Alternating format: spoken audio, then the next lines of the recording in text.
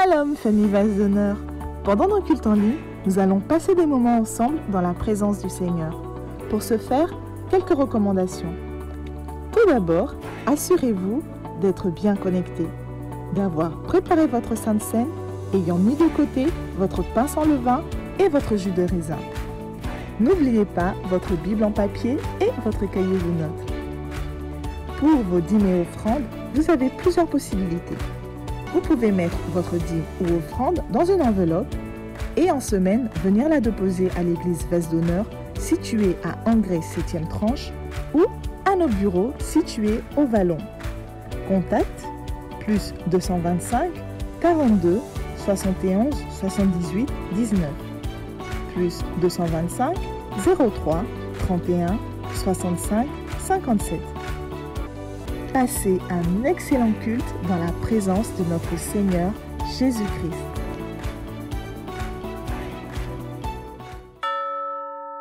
Peuple, habitants de la terre, laissez-moi vous présenter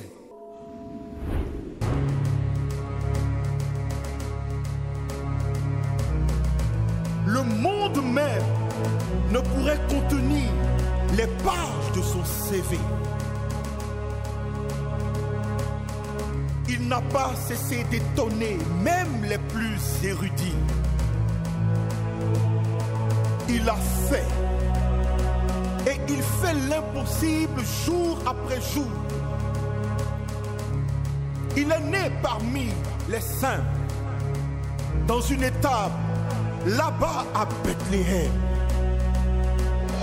Cependant, il règne pour toujours, assis sur un trône de gloire céleste. Sa biographie est le sujet du plus grand best-seller depuis la nuit des temps, la Bible. Avec seulement cinq pains et deux poissons, il nourrit 5000 hommes, sans compter les femmes et les enfants.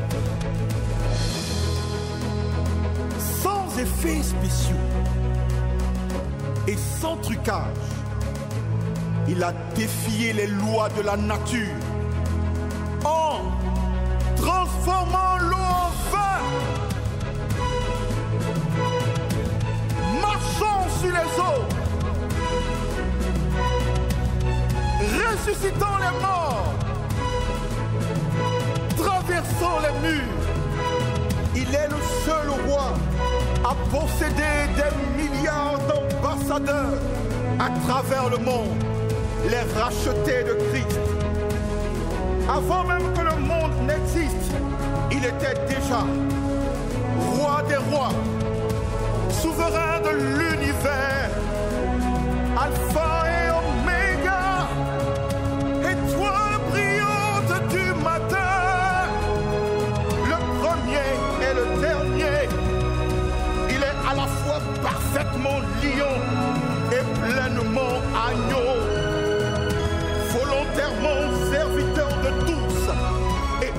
roi de l'univers, éternel des armées, prince de paix. Puissions-nous nous lever et honorer le seul, le majestueux, le glorieux, le surnaturel, le juste juge, le bon berger. Jésus. Jésus.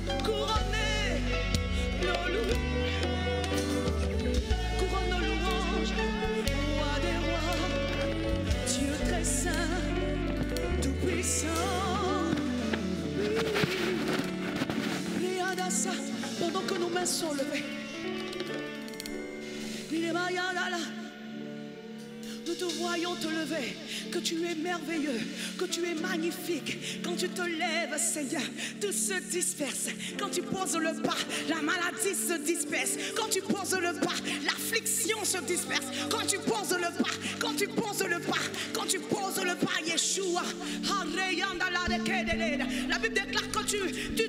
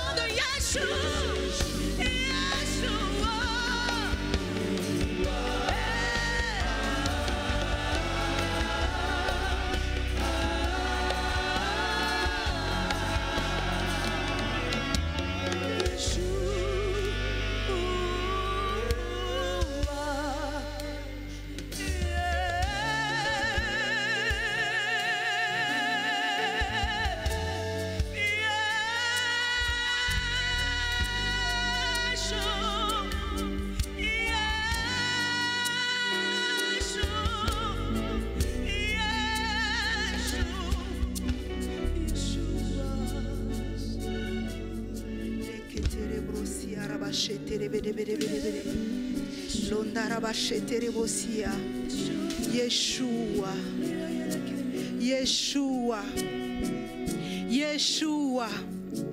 Quel merveilleux nom que le tien, Yeshua. Quel extraordinaire nom que le tien, Yeshua. Nom à la mention duquel tout genou fléchit. La Bible pouvait dire dans le livre de Philippiens 2, verset 9. C'est souverainement élevé et lui a donné le nom qui est au-dessus de tout nom. Verset 10.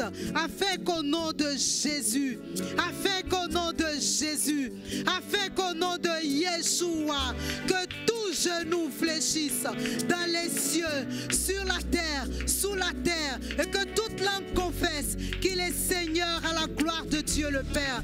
Bien-aimé, est-ce que tu peux acclamer le nom de Yeshua? Ce nom qui apporte la délivrance, ce nom qui guérit les cœurs brisés, ce nom qui guérit toute maladie, ce nom devant lequel le, le cancer est obligé de fléchir genoux, ce nom devant lequel la stérilité est obligée d'abdiquer,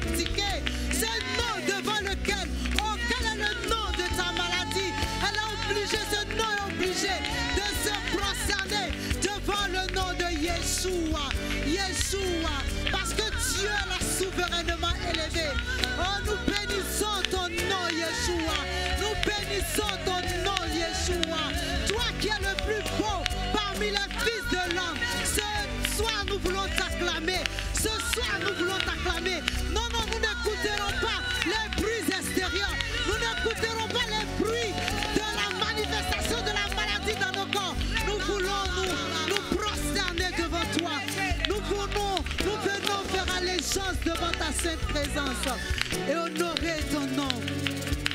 Béni sois-tu, Yeshua. Béni sois-tu, Yeshua. Alléluia. Alléluia. Nous voulons souhaiter la bienvenue à tous nos frères et sœurs en ligne au samedi des miracles, au samedi des miracles, le samedi où tu viens et puis tu viens, tu es bizarre. Tu viens, tu es malade. Tu viens, tu es estropié. Et où tu repars avec la guérison. Le samedi des prodiges. Merci Seigneur. Alléluia.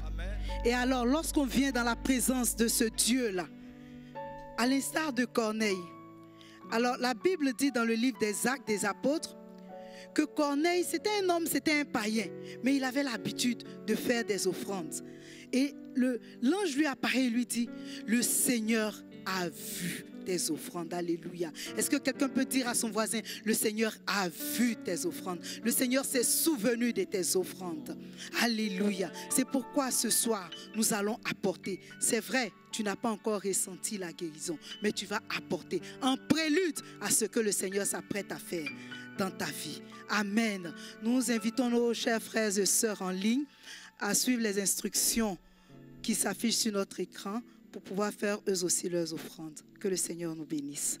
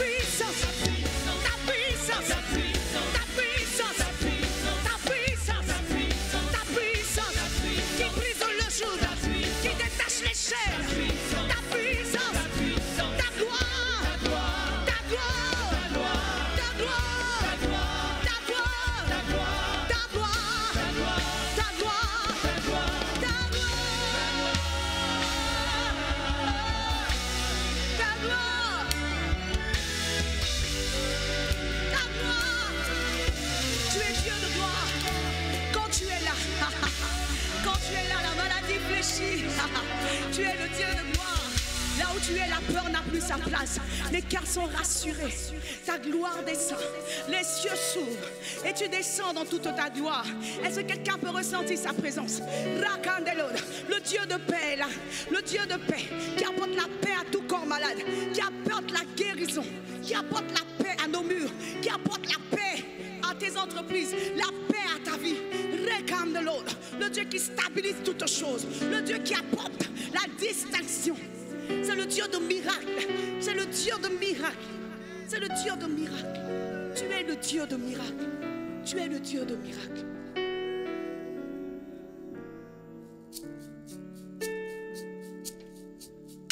Que ta gloire descende.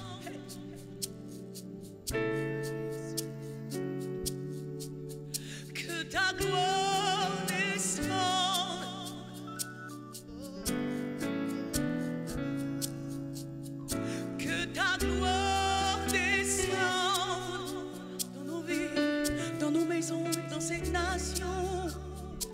ta gloire descende. Que quelqu'un qui te connaît pas te rencontre, te rencontre, te rencontre. Que ta gloire descende. Yeah. Rakadasana. Que ta gloire descende. Que ta gloire descende. Que quelqu'un qui ne marchait pas se lève et marche. Quand ta gloire descend, que,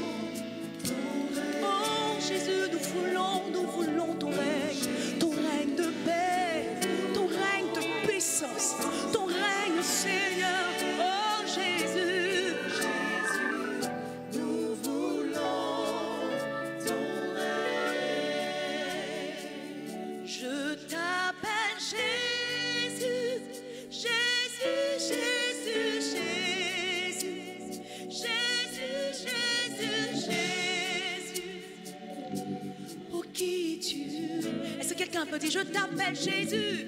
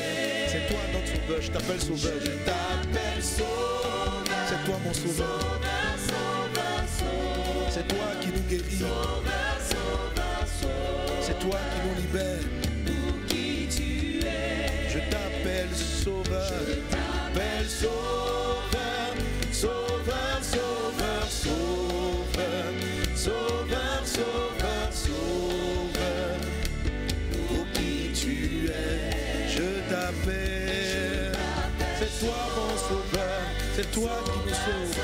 Seigneur, nous t'invoquons. pour qui tu es. Toi, mon sauveur, nous t'invoquons, sauveur.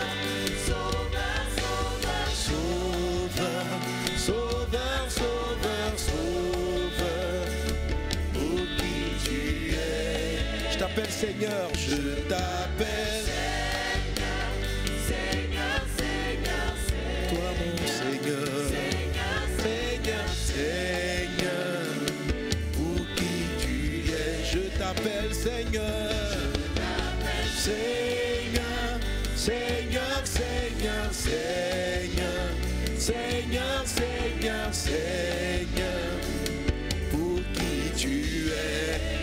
Happy.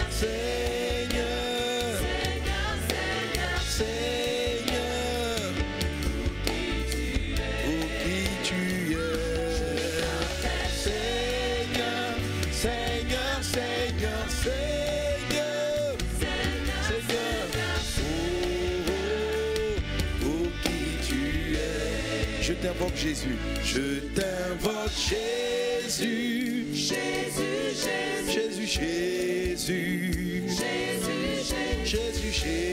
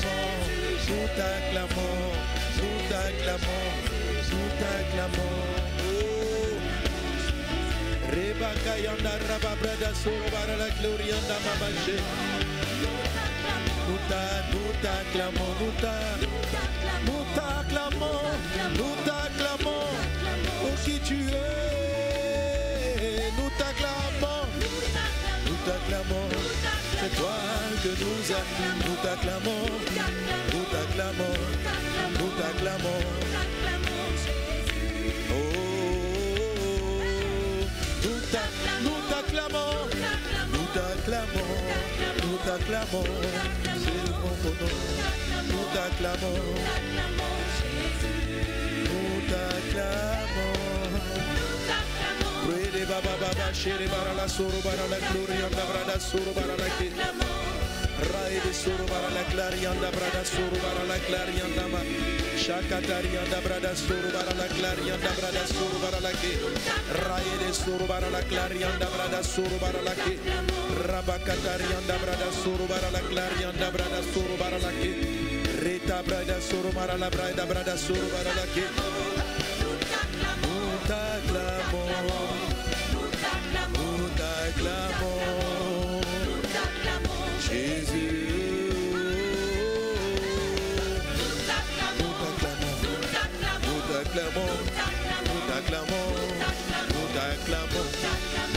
T'acclamons, Jésus. Nous t'élevons, nous t'élevons,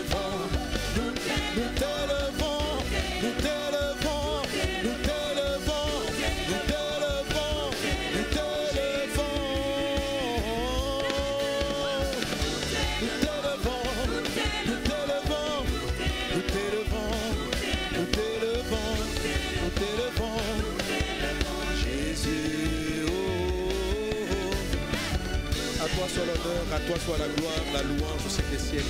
Merci Seigneur pour ta présence. Conduis-nous au nom puissant de Jésus. Alléluia. Amen. Quelqu'un donne un bon Amen. Quelqu'un donne un très bon Amen à Jésus. Alléluia. Que le nom du Seigneur soit glorifié. Que la grâce et la paix du Seigneur soient dans votre vie, dans ta vie. Amen. Alléluia. Amen. Je veux souhaiter à chacun d'entre nous la bienvenue au samedi des. Samedi des. Le samedi des. Samedi des. Samedi des. Miracle, miracle, miracle. À gauche, miracle. À droite, miracle. En toutes circonstances, miracle. Miracle au nom de Jésus. Miracle, miracle, miracle. Un miracle dans ta vie. Un miracle que Jésus va faire. Oh, ça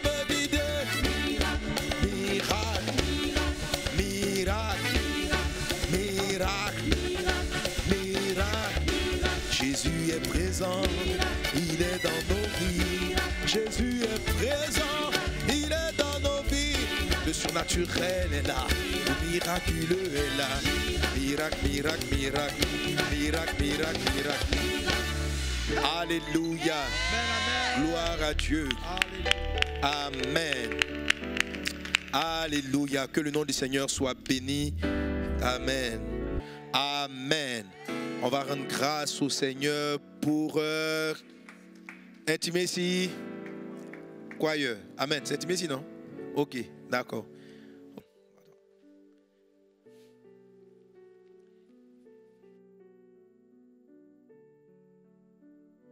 Alléluia. Merci Seigneur Jésus. Amen. Quelqu'un acclame encore très très très très fort notre Seigneur et notre Sauveur Jésus-Christ. Alléluia. Donne un bon Amen à Jésus. Amen. Encore vraiment une fois de plus, soyez tous les bienvenus à notre samedi des miracles. Et comme nous le disions le samedi dernier, nous sommes, euh, nous parlerons, pardon, donc le samedi, depuis le samedi dernier, on a commencé un thème relatif à l'enfantement. Parce que l'Esprit du Seigneur me conduit ces samedis, euh, donc de, samedi passé, aujourd'hui, et puis les samedis d'après, quelques samedis d'après, à prier pour l'enfantement. Alors, ces samedis de miracles, même s'ils sont destinés à toute forme de pathologie pour lesquelles nous allons voir des miracles de Dieu, le Saint-Esprit va mettre l'emphase sur tous ceux qui ont des défis d'enfantement. Alléluia. Amen. Et l'Esprit du Seigneur m'a mis à cœur donc d'aborder un thème, un message qui est relatif à l'enfantement. Notre thème général, c'est l'étape vers l'enfantement. Amen. Quand Dieu donne une orientation au travers de laquelle il va agir, tel que euh, l'enfantement, il envoie une parole. Il envoie sa parole. La Bible dit que le Seigneur a envoyé sa parole et il les a guéris. Alléluia. Et la parole de guérison, de restauration que tu vas recevoir pour ton miracle de guérison, c'est ce message-là. Étape au pluriel vers l'enfantement miraculeux. Amen. Donc tous ceux qui s'attendent à une visitation divine pour pouvoir enfanter ce culte, ce programme, il est à vous. Mais lorsque l'Esprit du Seigneur opère dans le surnaturel, tous les malades sont visités, sont guéris. Amen. Et une chose que je vous ai dite le samedi dernier, c'est que lorsqu'on parle d'enfantement, il ne s'agit pas seulement d'enfanter des enfants biologiques. On ne se limite pas seulement aux enfants biologiques. Dans la parole de Dieu, tout ce qui est fruit, tout ce qui naît d'une semence s'appelle enfantement. Alléluia, s'appelle enfantement. Autrement dit, les fruits des arbres sont les enfants de la semence qui a été jetée en terre et qui a donné cela. C'était un enfantement. Et si on va aller au-delà, on va voir que quelqu'un est ensemencé d'une idée, d'un projet, d'une idée, et lorsque cette idée-là prend forme et qu'elle crée un produit consommable, on va aussi parler donc de fruits et on peut aussi parler d'enfantement. Ainsi, quelqu'un a une idée d'écrire un livre. Lorsque l'ouvrage paraît, on peut dire de l'ouvrage, il est comme son bébé, parce qu'il est sorti du fruit de son inspiration. Alors le terme enfantement peut être aussi appliqué aux, entreprises. Lorsque tu as reçu une idée, une invention, et que la chose est née, on peut faire référence à l'enfantement. Amen. C'est cette bénédiction-là, c'est cette grâce que le Seigneur décrit dans le livre de Deutéronome chapitre 28 à partir du verset 4. Il dit, le fruit de tes entrailles sera béni. Amen. Donc le fruit des entrailles, ça parle des enfants biologiques. Et il va associer à cette même bénédiction le fruit de ton sol. Donc c'est la même catégorie de bénédiction que d'avoir un enfant, que les fruits des arbres puissent donner leurs fruits, mais le fruit de, le fruit de ton sol, comme les Israéliens étaient des, des cultivateurs pour, pour beaucoup d'entre eux, le fruit du sol, ça représente donc aussi le fruit de l'entreprise. Le sol était leur entreprise. Donc on dit le fruit de ton sol, on va aussi dire que tes entreprises vont enfanter. Elles vont donner leurs fruits au nom de Jésus. Et il continue en disant, le fruit de ton troupeau est aussi béni. Ça veut dire que ton cheptel sera bien paix et ton cheptel, tes brebis vont donner des bébés. Alléluia. Dans le monde spirituel, euh, Jésus peut dire, au travers de l'apôtre Paul, aux évêques, il dit, prenez bien garde sur, prenez bien garde au troupeau sur lequel le Seigneur vous a établi évêque, sur lequel donc le Seigneur vous a établi pasteur. Donc lorsque tu es chef d'un groupe de personnes, lorsque tu coordonnes un groupe de personnes, alléluia, et que ce groupe-là est béni, qu'il donne son fruit, amen, on peut parler aussi donc du fruit du troupeau. Ainsi, un pasteur qui a une vision, qui a une église, est en train de paître un troupeau.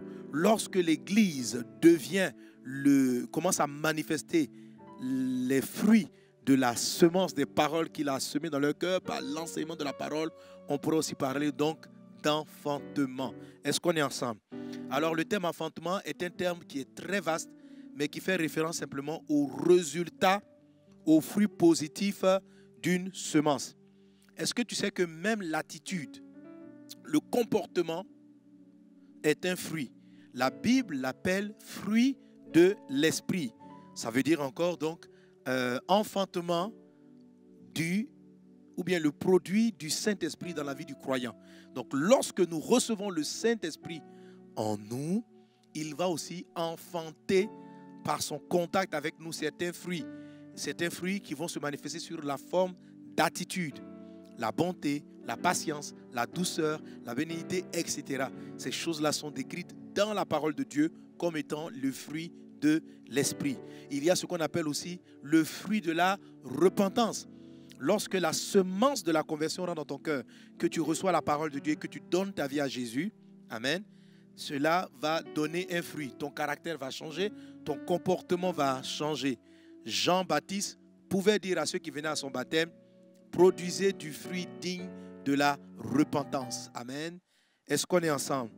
Alors notre thème, étape au pluriel, vers l'enfantement miraculeux, ne va pas seulement se limiter aux enfants biologiques, mais tout ce qui est entreprise, projet, caractère, attitude, tout ce qui doit être enfanté, que cela soit enfanté au nom de Jésus-Christ de Nazareth. Qu'il en soit ainsi dans le nom de Jésus. Alors les différentes étapes que nous sommes en train de parcourir sont des étapes qui vont permettre à tous ceux qui attendent un enfantement du comportement, de la patience, de la douceur, tous ceux qui attendent de voir un changement concret dans leur vie, étape vers l'enfantement miraculeux, les concerne. Cela te concerne dans le nom de Jésus-Christ. Tous ceux qui veulent voir leur entreprise donner maintenant leurs fruits, qui veulent être là simplement en train d'être, qui ne veulent plus simplement aller au travail et sans que l'entreprise ne fonctionne, les étapes vers l'enfantement les concernent. Ça te concerne aussi dans le nom de Jésus tous ceux qui ont des idées, des inspirations, mais qui n'arrivent pas à les mettre en application. Amen. Ils ont besoin de ce message parce que c'est étape vers l'enfantement. Pendant des années, personnellement, je souffrais d'une forme de stérilité euh, euh, euh, en ce qui concerne les ouvrages. Le Seigneur mettait dans mon esprit, tu vas écrire tu vas écrire, tu vas écrire. Mais je n'arrivais pas à écrire. Je n'arrivais pas à sortir des ouvrages. Et puis, en fait, je commençais, je commençais, je commençais. Et mon ordinateur est plein, plein, plein, plein, plein de messages qui, jusqu'à ce jour, ne sont pas nés, ne pas encore parus. Donc, j'étais ensemencé de l'idée, mais l'idée n'avait pas encore donné son fruit. Alléluia. Jusqu'à ce que moi-même, je me mette à appliquer ces différentes étapes étape de l'enfantement. Et aujourd'hui, par la grâce du Seigneur, c'est près d'une vingtaine d'ouvrages qui ont pu naître. Que Dieu te donne d'enfanter au travers de ce message tout ce que Dieu, ton Père, a semé dans ta vie. Dans le nom de Jésus-Christ de Nazareth, que tu aies l'attitude, que tu aies les entreprises. Je prie afin que tu enfantes. Élève la voix et prie avec moi pour dire, Père, je veux enfanter. Je veux enfanter ce que tu as mis dans mon cœur. Je veux que ma vie produise les fruits qu'elle doit produire. Je veux que le troupeau sur lequel tu m'as établi produise le fruit qu'il doit produire. La Bible dit dans le livre de la Genèse que Isaac implora le Seigneur parce que sa femme Rebecca était stérile. Et Dieu l'a entendu et elle a enfanté. Évoquons la grâce du Seigneur. Seigneur, rends-nous féconds. Rends-nous féconds. Libère nos entrailles par ta miséricorde. Enseigne-nous par tes voix. Enseigne-nous par ta parole. Saisis-toi de nous, Seigneur Jésus-Christ. Et que ces différentes étapes, nous puissions les appliquer.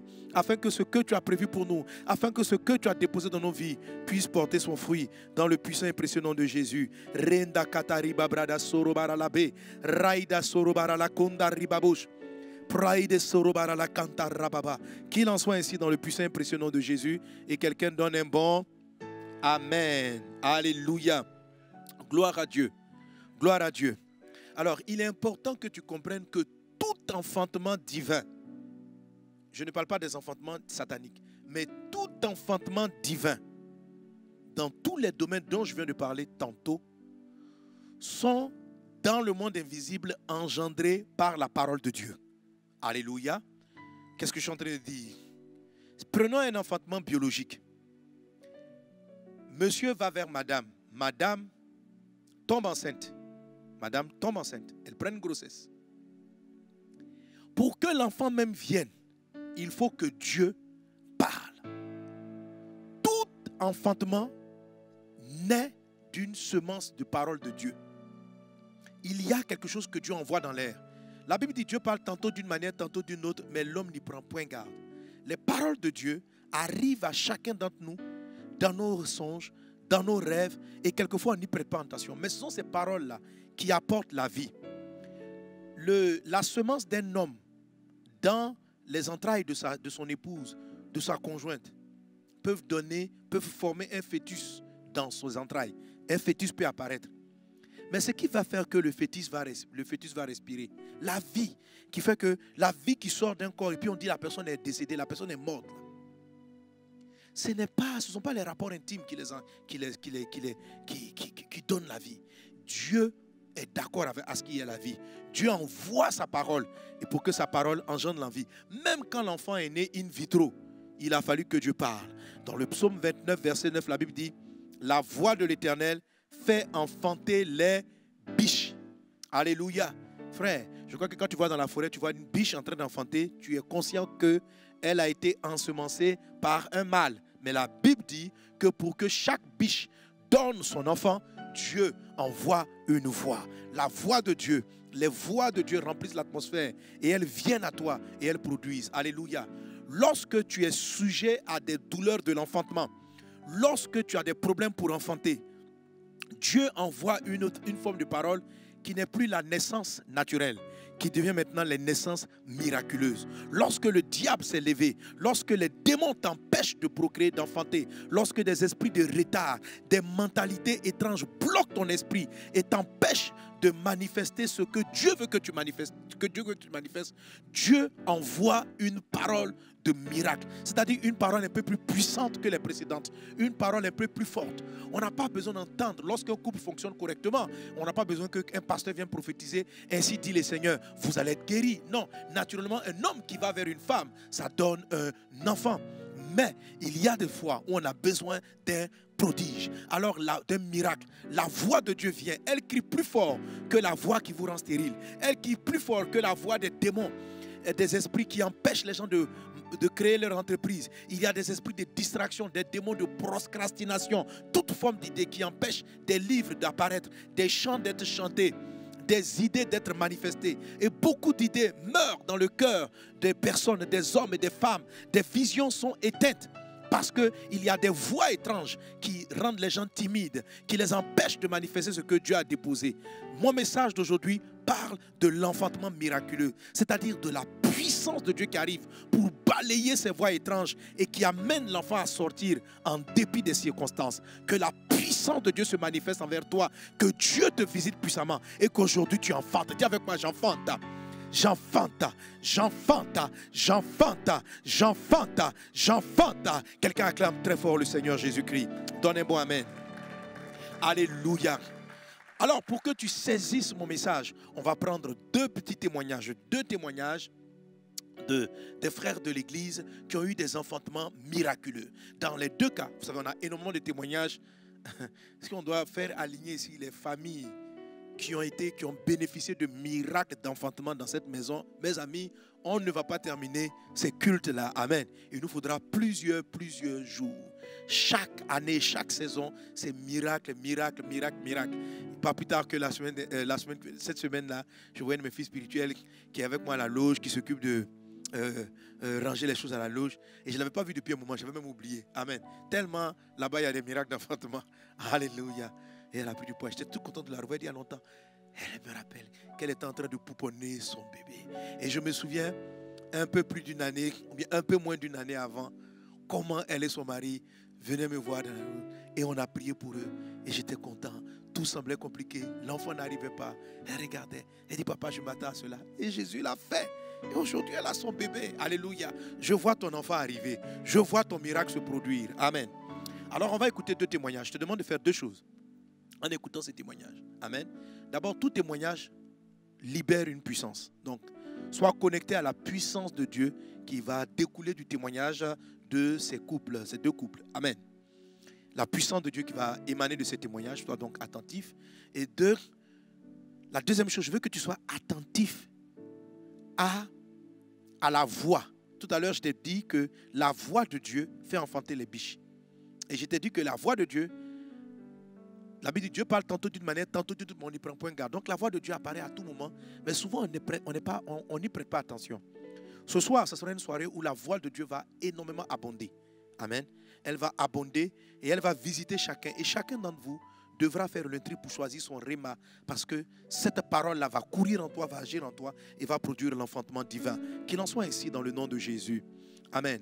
Donc prête attention au phénomène déclenchant le processus du miracle dans leur vie. Alors allons-y pour euh, ces euh, deux témoignages. On va les suivre d'affilée. Amen. Que le Seigneur soit béni. Nous sommes Monsieur et Madame Yavi et nous voulons ce, ce jour un témoignage à la gloire du Seigneur qui nous a visité de façon particulière.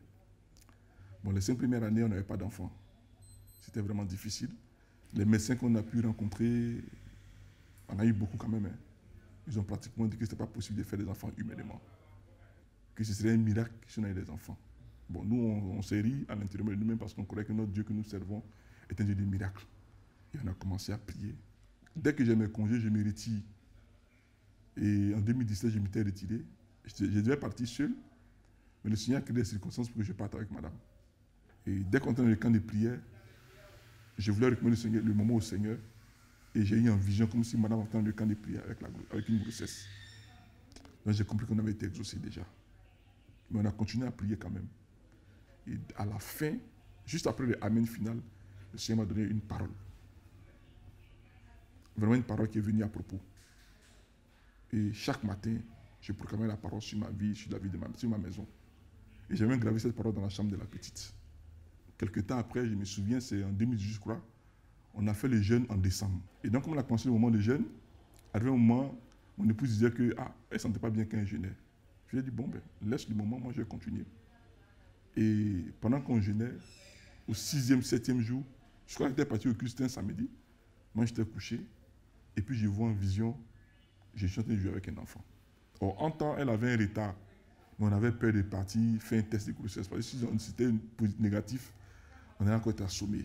Donc, bon, on laissait les choses couler comme ça, quoi. Donc, quand j'ai eu la vision de jouer avec un enfant, quand elle est revenue de son programme, je lui ai dit, bon, ben, il faut aller faire le test. Le lendemain, elle pas dit faire le test de grossesse, il était positif. Et nous étions dans la cour à l'église à Kodesh. Et puis un jour comme ça, maman Lily m'a fait appel dans sa loge. Et quand je suis partie, la question qu'elle m'a posée, c'est Anita et l'enfant. Je me suis mise à pleurer comme une madeleine, quoi. Je pleurais au moins pendant une heure de temps. Et après qu'elle m'a consolée, elle m'a donné de lotus, elle m'a consolée vraiment comme une mère. Après ça, voilà la phrase qui est sortie, qui a, qui a retenti dans mon esprit, c'était Anita, prends ton bâton de pèlerin et avance. Dieu, dans sa grâce, a permis que cette parole-là soit comme une parole de consolation pour moi, soit ma parole de consolation. Ce jour, pendant la nuit, je me suis mise à genoux.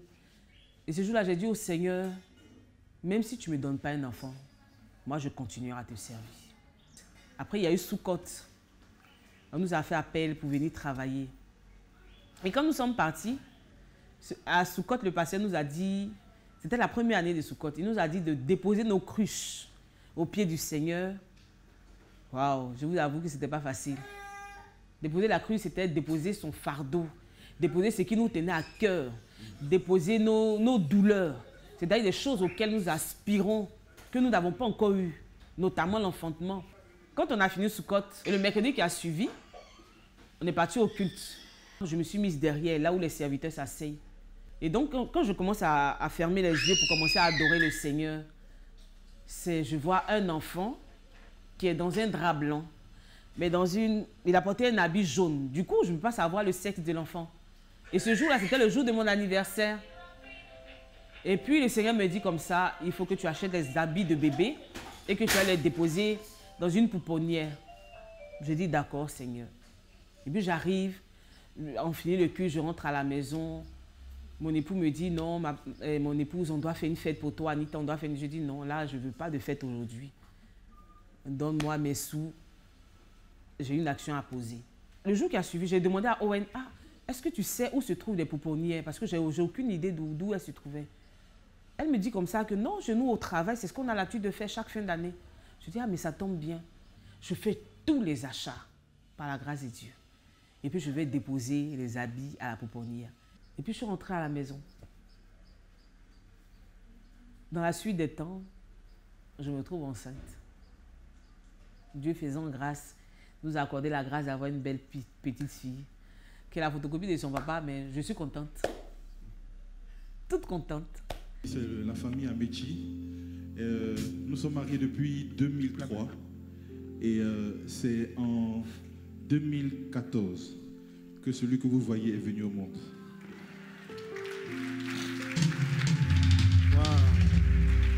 Et qua- quatre ans plus tard, la toute petite qui est également venue au monde. Vraiment, Dieu a étendu sa main sur nos vies. Euh, quand nous sommes mariés en 2003, en 2006, euh, ma femme a eu une première grossesse qui est tout de suite tombée deux, trois mois après.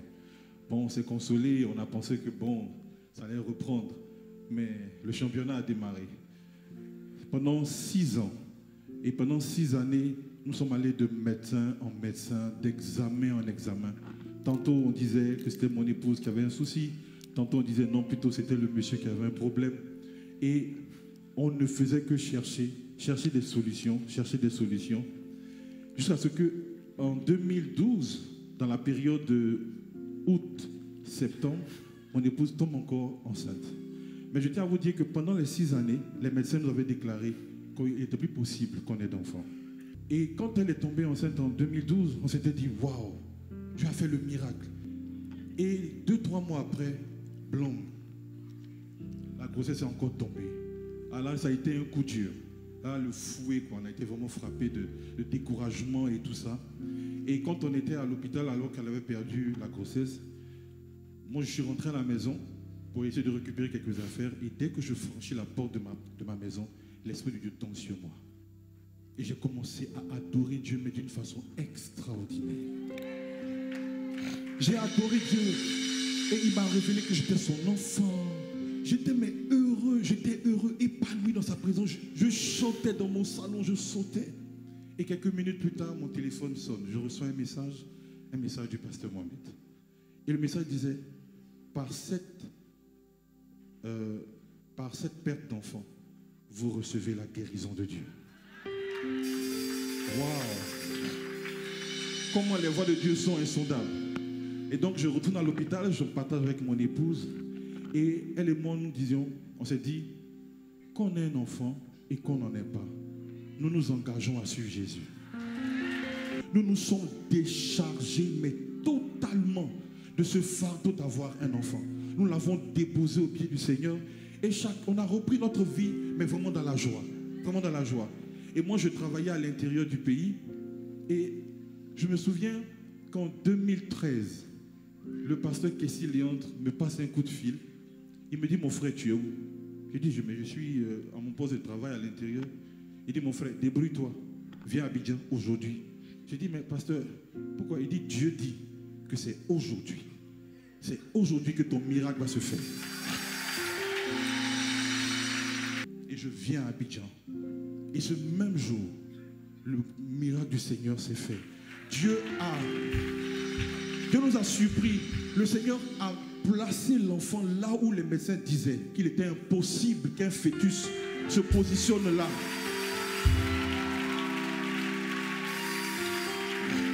Et le petit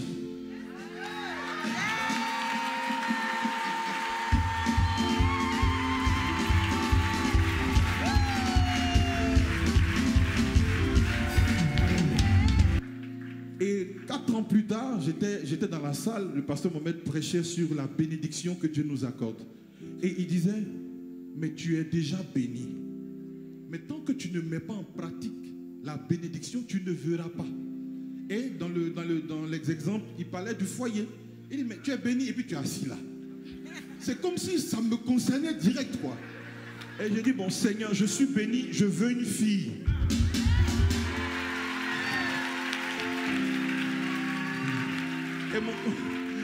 J'en parle à mon épouse, elle dit, mais est-ce qu'on ne doit pas prier, voir pasteur Gérard? J'ai dit, laisse, Dieu a déjà dit, on est béni.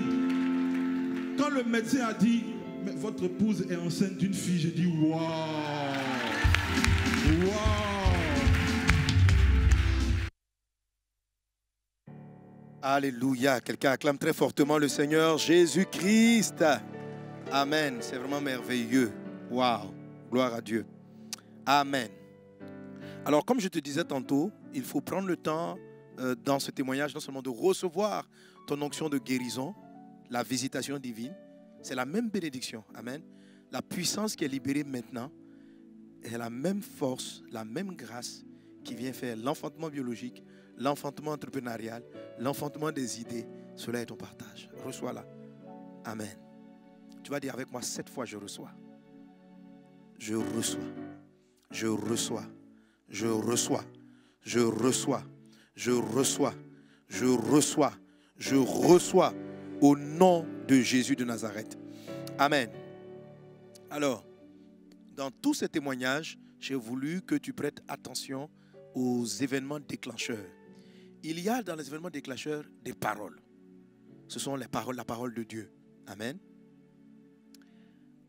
Pour euh, le couple Yabi, le mari, de son côté, reçoit donc une vision, une parole. Donc, la vision est comme une parole. Amen. Où il voit une fille. Et cette pensée-là va lui rester. C'est très important. Amen. Il dit aussi, il reçoit aussi une parole. Cette parole-là, regarde bien ce qu'il dit. Il dit, il va même aller l'écrire, l'afficher, et il va la lire. Il reçoit une parole. Bon, malheureusement, dans ce témoignage, il ne nous a pas dit le verset qu'il a reçu, la parole qu'il a reçue. Donc, vous avez la vision et la parole avec laquelle donc il, euh, qui, va, qui va rester là. OK? Ces choses qui les ont marquées ne sont pas vaines.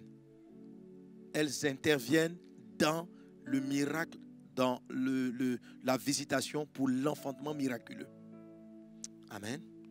Euh, son épouse, donc Madame Labi, de son côté, elle aussi, elle a son expérience personnelle avec le Seigneur. Et elle est dans la cour de l'église. Pasteur Liliane, mon épouse, l'appelle pour parler de l'enfantement. D'abord, une chose, elle lui pose la question, elle pleure, elle libère son âme de tout ce qu'il y a comme tristesse, déception. Et puis, Pasteur Liliane lui donne une parole. Prends ton bâton de pèlerin et avance. Prends ton bâton de pèlerin et avance. Tu vois, mais quelqu'un m'a dit, mais parce que cette parole-là, ça n'a rien à voir avec euh, euh, la guérison. Euh, c'est pas un verset de guérison. C'est une parole qui dit simplement avance. Écoute-moi, mais la voix de l'enfantement était dans cette parole. Et elles ont causé de beaucoup de choses. Mais tu remarques très bien que la sœur Anita a retenu cette parole. Si elle a pleuré pendant une heure, elle a été consolée. Donc, pasteur Liliane a lui dire beaucoup de choses entre-temps. Mais il y a une parole qui a marqué son attention. Cette parole-là, c'est la voix de Dieu. Elle est très importante dans la suite du miracle, de l'enfantement miraculeux. On n'a pas besoin forcément de cette voix puissante, euh, cette voix puissante dont je parle tantôt, lorsque l'enfantement va être naturel. La voix de Dieu est là, elle fait enfanter les biches, elle donne des idées et tout le monde peut les saisir. Mais lorsqu'il y a un obstacle, lorsqu'il y a une forme d'opposition, il y a cette voix-là puissante, cette voix spéciale, Amen, qui vient briser le problème, briser l'obstacle et puis guérir le malade, transformer la situation de blocage et en faire une opportunité pour la manifestation de l'enfantement. Et c'est ce vers quoi je t'attire, afin que ton cœur soit disposé aujourd'hui et que tu ne laisses pas partir cette bénédiction que Dieu t'envoie pour être visité et connaître ton miracle d'enfantement. Quelqu'un donne un bon amen à Jésus. Ok, gloire à Dieu. Gloire à Dieu. Alors, amen. Donc, elle, elle va saisir ce passage. Son mari va saisir le verset dont tu nous parles. Elle va saisir la parole du pasteur Liliane. Prends ton bâton de pèlerin. Elle va arriver, parole qui plus ou moins va être, confirmée à sous-côte, où j'appelle, je dis, laisser de la cruche. Donc, elle a abandonné tout ce qui était ses soucis et elle a dit, Seigneur, je vais te servir. On va te servir, c'est bon. On ne va plus faire de ce, de ce problème-là un souci particulier. Note bien le souci particulier parce que ça, ça va m'intéresser pour la troisième étape. Mais aujourd'hui, je ne parlerai que de l'étape numéro 2 dans notre message actuel, étape vers le, l'enfantement miraculeux. Alléluia. Amen. Alors, les différentes étapes nous sont décrites dans le livre de Matthieu chapitre 13 lorsque Jésus-Christ parlait, a donné pardon, la parabole de la semence, la parabole du semeur. Il dit ceci, un semeur est sorti pour semer. Et expliquant cette parabole, Jésus va dire, la semence là, c'est la parole de Dieu. Et Jésus va décrire trois types de sols, trois types de terre où cette parole n'a pas donné son fruit. Amen. Ça veut dire Dieu a parlé. Dieu a dit tu vas enfanter. Dieu a envoyé un miracle d'enfantement. Comme ce soir, il envoie un miracle d'enfantement. Et je suis convaincu que plusieurs qui m'écoutent ont déjà entendu la voix du miraculeux. La voix dont je parlais tantôt, qui vient, qui apporte le prodige. Il y a déjà des gens qui l'ont déjà entendu, mais dans la vie desquels la parole n'a pas fonctionné. Et Jésus nous présente trois types de terre autrement dit trois types de cœurs. Lorsqu'il donne, Jésus nous donne l'interprétation, il va présenter les terres là comme étant des cœurs. Donc trois types de cœurs qui ne vont pas permettre à cette parole-là de donner son fruit. Mais chaque fois qu'il cite, note bien cela, chaque fois qu'il cite un type de cœur, Jésus, dans le même texte, dans la même histoire, donne la solution lorsque son cœur se trouve dans cette situation. Amen.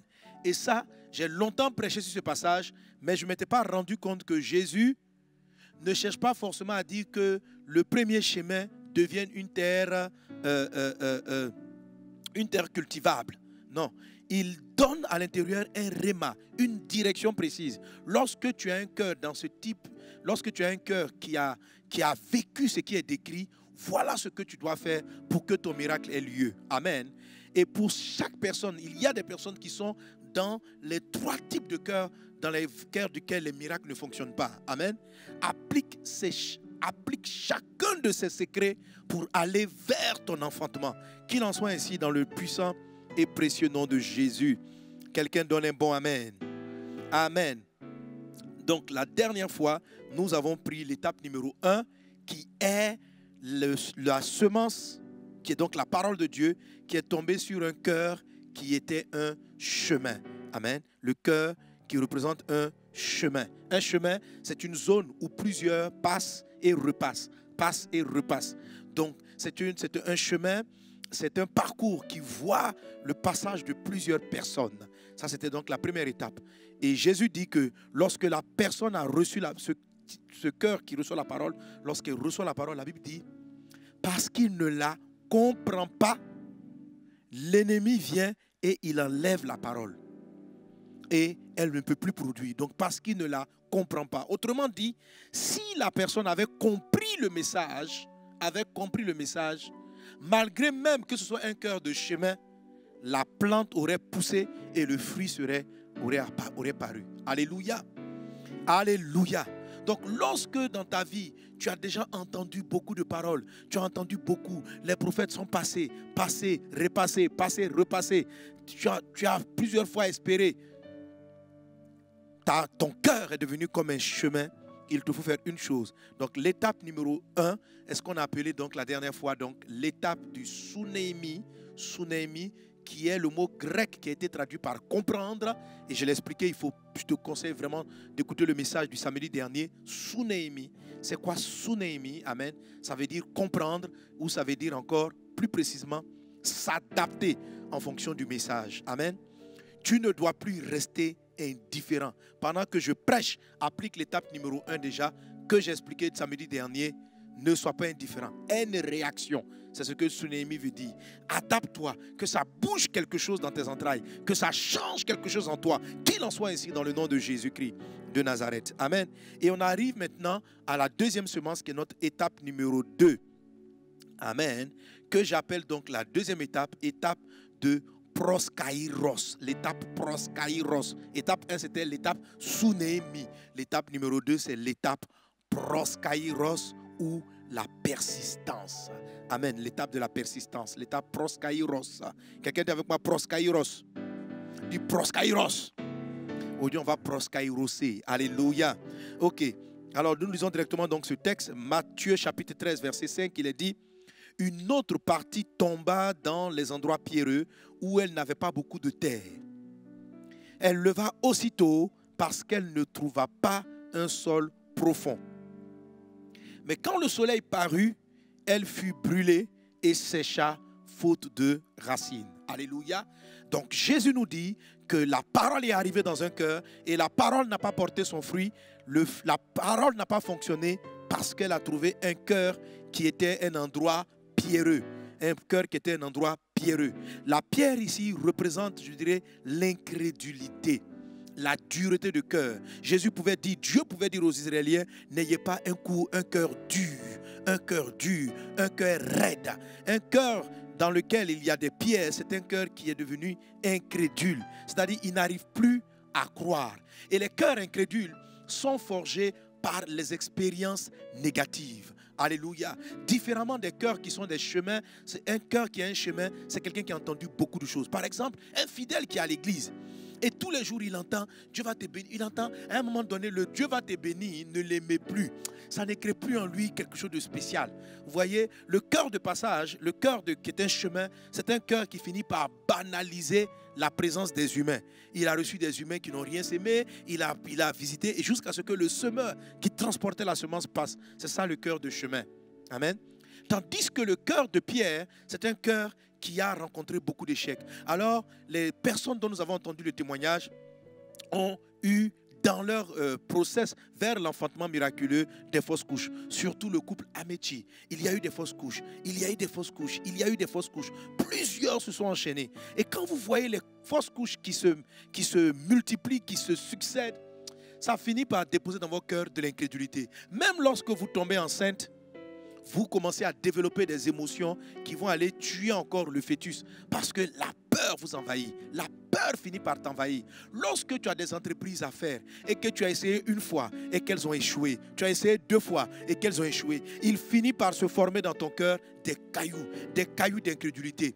Les prochaines fois, chaque fois que tu vas vouloir commencer, la peur va à nouveau t'envahir. Euh, pardon, Job dit ceci, ce que je crains, c'est ce qui finit par m'atteindre, ce que je redoute finit par arriver.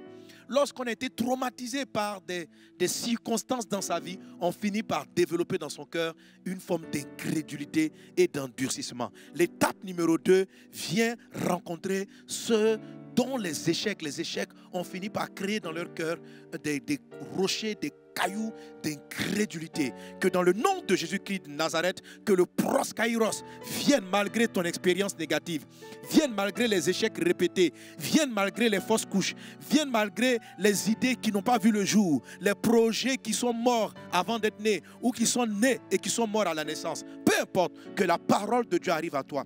Que l'étape de proskairos, quelqu'un dit avec moi proskairos, Dis avec moi proskairos. Quelle étape de proskairos amène un arbre qui va donner son fruit à jaillir de ce cœur qui a connu tant d'expériences négatives. Qu'il en soit ainsi dans le nom de Jésus. La deuxième étape s'adresse à toi, à toi mon frère, à toi ma soeur, qui a été traumatisé par tes expériences passées. Jésus-Christ peut produire encore de la vie. Avec toi, il peut faire naître un projet. Avec toi, il peut faire naître encore un enfant. Là où la médecine dit c'est fini, que chaque fois que tu auras...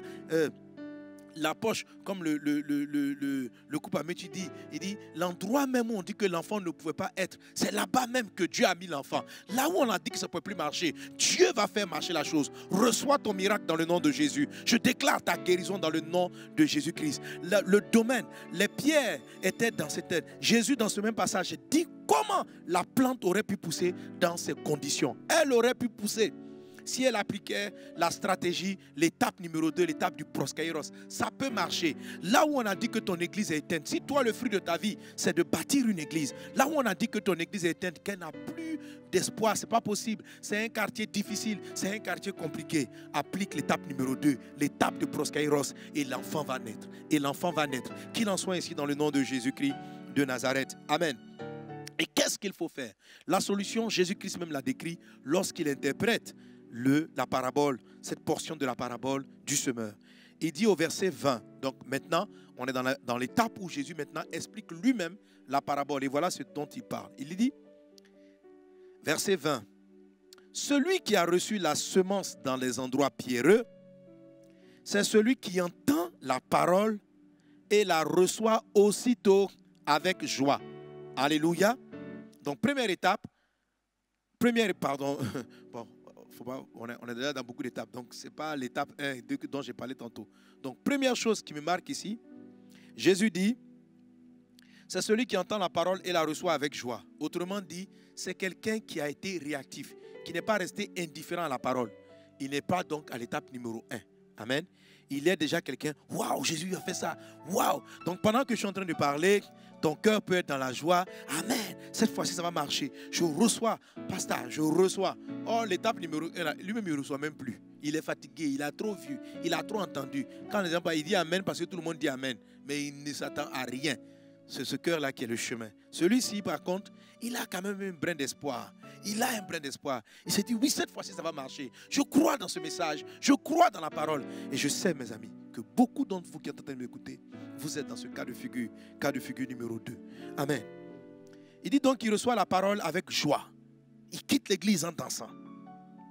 Mais le verset 21 nous dit, mais il n'a pas de racine en lui-même. Mais il n'a pas de racine en lui-même. Alléluia. Donc Dieu est content de ce que la parole qui a été semée ait porté de la joie. C'est une première étape importante. Amen. Lorsque Anne, la mère de Samuel, nous sommes dans le livre de 1 Samuel chapitre 1, a entendu la parole du sacrificateur Élie, Amen. Au verset 16 de 1 Samuel 1, il est dit, ne prends pas ta servante pour une femme pervertie, car c'est l'excès de ma douleur et de mon chagrin qui m'a fait parler jusqu'à présent. Lui reprit la parole et dit, va en paix et que le Dieu d'Israël exauce la prière que tu lui as adressée. Verset 18, elle dit, que ta servante trouve grâce à tes yeux. Et cette femme s'en alla, elle mangea et son visage ne fut plus le même. Alléluia. Donc quand l'homme de Dieu, le sacrificateur lui a dit, Dieu t'exauce, que Dieu t'exauce, ça lui a apporté de la joie. Son visage n'a plus été le même. Elle a arrêté son moment de pénitence, elle a arrêté son moment de jeûne, elle a arrêté ce moment difficile, elle est partie, elle a mangé, elle s'est relevée, elle a été dans la joie. La parole a apporté de la joie. Alléluia. Mais il y a un élément qui est intéressant là-dedans. La Bible dit, elle n'a pas eu la joie juste pour le début, le moment où le prophète, le sacrificateur lui a parlé. Le texte dit, et son visage ne fut plus le même. C'est-à-dire que la joie qu'elle a reçue, elle l'a conservée jusqu'à ce qu'on arrive euh, au verset d'après, le verset euh, 20. Il est dit, Elkana connut Anne, sa femme, l'Éternel se souvient d'elle. Dans le cours de l'année, Anne devient enceinte. Amen. Et je vais te montrer comment cette attitude-là a engendré le miracle et on retrouve cette même étape dans la vie des deux témoignages que nous avons entendus tantôt. Quelqu'un est-il avec moi? Donnez-moi maintenant à Jésus. Alors voilà ce que Jésus dit. Il dit, verset 21 de Matthieu 13, mais il n'a pas de racine en lui-même. Alléluia. Alors, avant de parler même de la joie, j'ai utilisé la, joie de Anne pour te dire que Anne ressemble à la situation de l'étape numéro 2. Amen. Elle ressemble à la situation de l'étape numéro 2. Et au verset 21, il est dit que le premier problème qu'il aurait pu résoudre, c'est qu'il aurait fallu que le cœur où il y a des pierres est des racines, de la racine en lui-même. Dis avec moi, j'ai de la racine en moi-même. Alléluia. Alors, la racine en soi-même, c'est un peu étrange quand même, hein, ok? Normalement, c'est la semence qui doit porter sa racine. Mais Dieu dit ici que le cœur qui a reçu la parole n'a pas de racine. C'est une expression pour vous la dire, c'est un cœur qui n'a pas assez de profondeur. C'est un cœur qui juge les choses superficiellement. Autrement dit, pour vaincre l'étape numéro 2, pour porter du fruit dans l'étape numéro 2, il faut avoir un cœur qui a de la racine en lui-même. Ça veut dire un cœur qui est profond. Que Dieu t'accorde un cœur profond au nom de Jésus.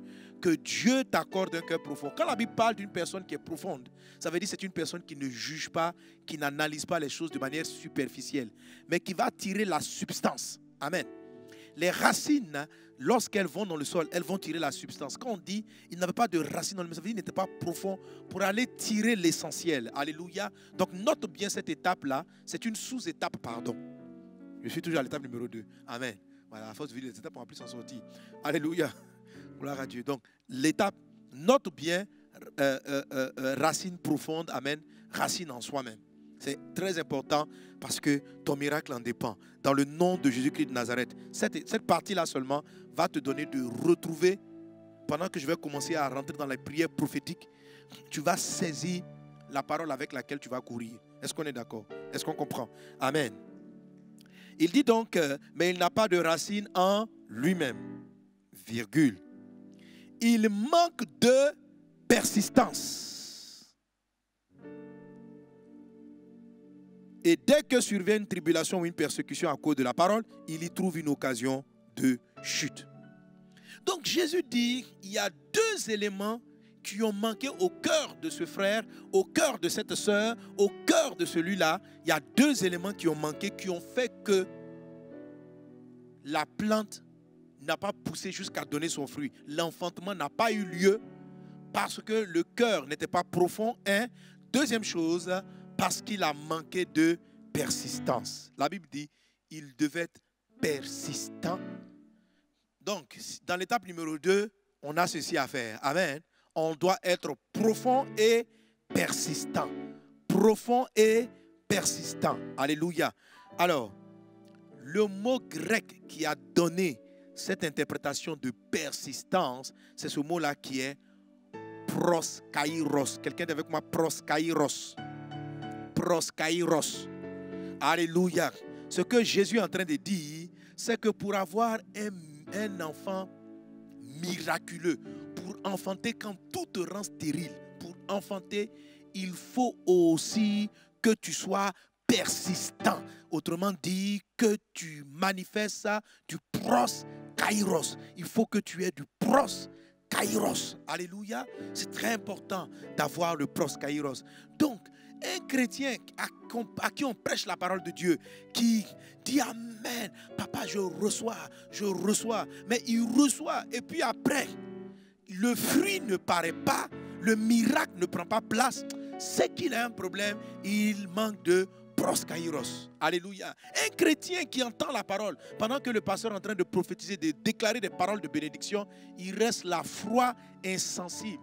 Celui-là, il a besoin de Sunémi. Est-ce qu'on est ensemble? Mais quelqu'un qui dit Amen. Oui, cette fois-ci, je sais que c'est pour moi. Je sais que la parole me concerne. Mais qui, malgré cela, ne voit pas l'enfantement se produire, a un autre problème. Son problème, c'est un problème de manque de proskairos. La Bible dit il manque de proskairos, il manque de persistance. Donc l'étape numéro 2, c'est l'étape du proskairos ou de la. Que Dieu nous rende persistants dans le nom de Jésus. Que Dieu nous rende persistants dans le puissant et précieux nom de Jésus. Quelqu'un donne un bon amen. Les. Alors, la persistance, la persistance, persister, ça signifie simplement avoir une idée ferme. Amen. Avoir une idée ferme. Être ferme sur une idée, persister. Hein, je revisite mon dictionnaire là, voilà. Il est dit demeurer ferme dans sa pensée. persister, c'est demeurer ferme. Ça dit, tu as une pensée et elle ne te quitte pas. Alléluia. Donc quand Jésus dit il a manqué de persistance, c'est-à-dire l'idée qu'il a eue, la joie qu'il a eue, il ne, il ne l'a pas conservée. Il a eu l'idée, l'idée est rentrée dans son esprit. Au début du message, il a crié Amen. Mais lorsqu'il est rentré chez lui à la maison, il est passé à autre chose. Il a même oublié la prédication. Il a même oublié le message prophétique. Et le fait qu'il n'est pas, pas couru avec la parole a été le process du miraculeux dans sa vie. Je t'en supplie par la compassion de Christ. Pendant que Dieu va te parler, il va te dire quelque chose. Mais il faut que l'idée là, la voix que tu as entendue, tu la maintiennes de manière persistante. C'est ce qui va entraîner un miracle d'enfantement. Et les témoignages qu'on a reçus ont proskairosé. Alléluia. Parce qu'ils ont eu une attitude de proskairos, le miracle est là. Et je te conseille, écoute différents témoignages de miracles, de guérison, d'enfantement miraculeux. Tu vas voir le côté persistant.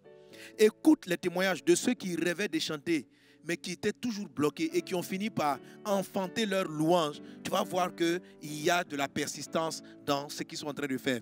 Regarde les personnes qui ont vu leurs entreprises se fermer cinq fois, quatre fois, dix fois, peu importe, mais qui demain et plus tard ont bâti des entreprises qui sont des multinationales et qui sont des bénédictions dans leur pays. Il y a toujours cet élément-là qui revient, la notion de la persistance ou du proskairos. Dis avec moi, je dois être persistant au nom de Jésus. Alléluia. Gloire à Dieu. Mais pour pouvoir être persistant, efficacement, il faut être persistant. C'est-à-dire, j'ai dit que persister, c'est demeurer ferme dans une pensée. Il faut que tu persistes sur la bonne pensée, pas sur la mauvaise pensée. Parce qu'il y a des gens, ce qu'on appelle les personnes entêtées.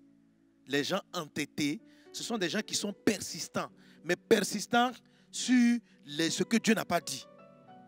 Ils sont persistants sur la voie du diable. Ils sont persistants sur des voies qui ne sont pas bien. Ils sont persistants sur des messages qu'ils ne doivent pas garder. La Bible dit ceci, garde ton cœur plus que toute autre chose, car c'est de lui que viennent les sources de la vie. Proverbe chapitre 4, verset 20. Amen. Tu dois garder ton cœur plus que toute autre chose. C'est-à-dire quoi? Garder son cœur, ça veut dire que tu dois veiller sur les idées persistantes, les idées qui restent dans ton cœur.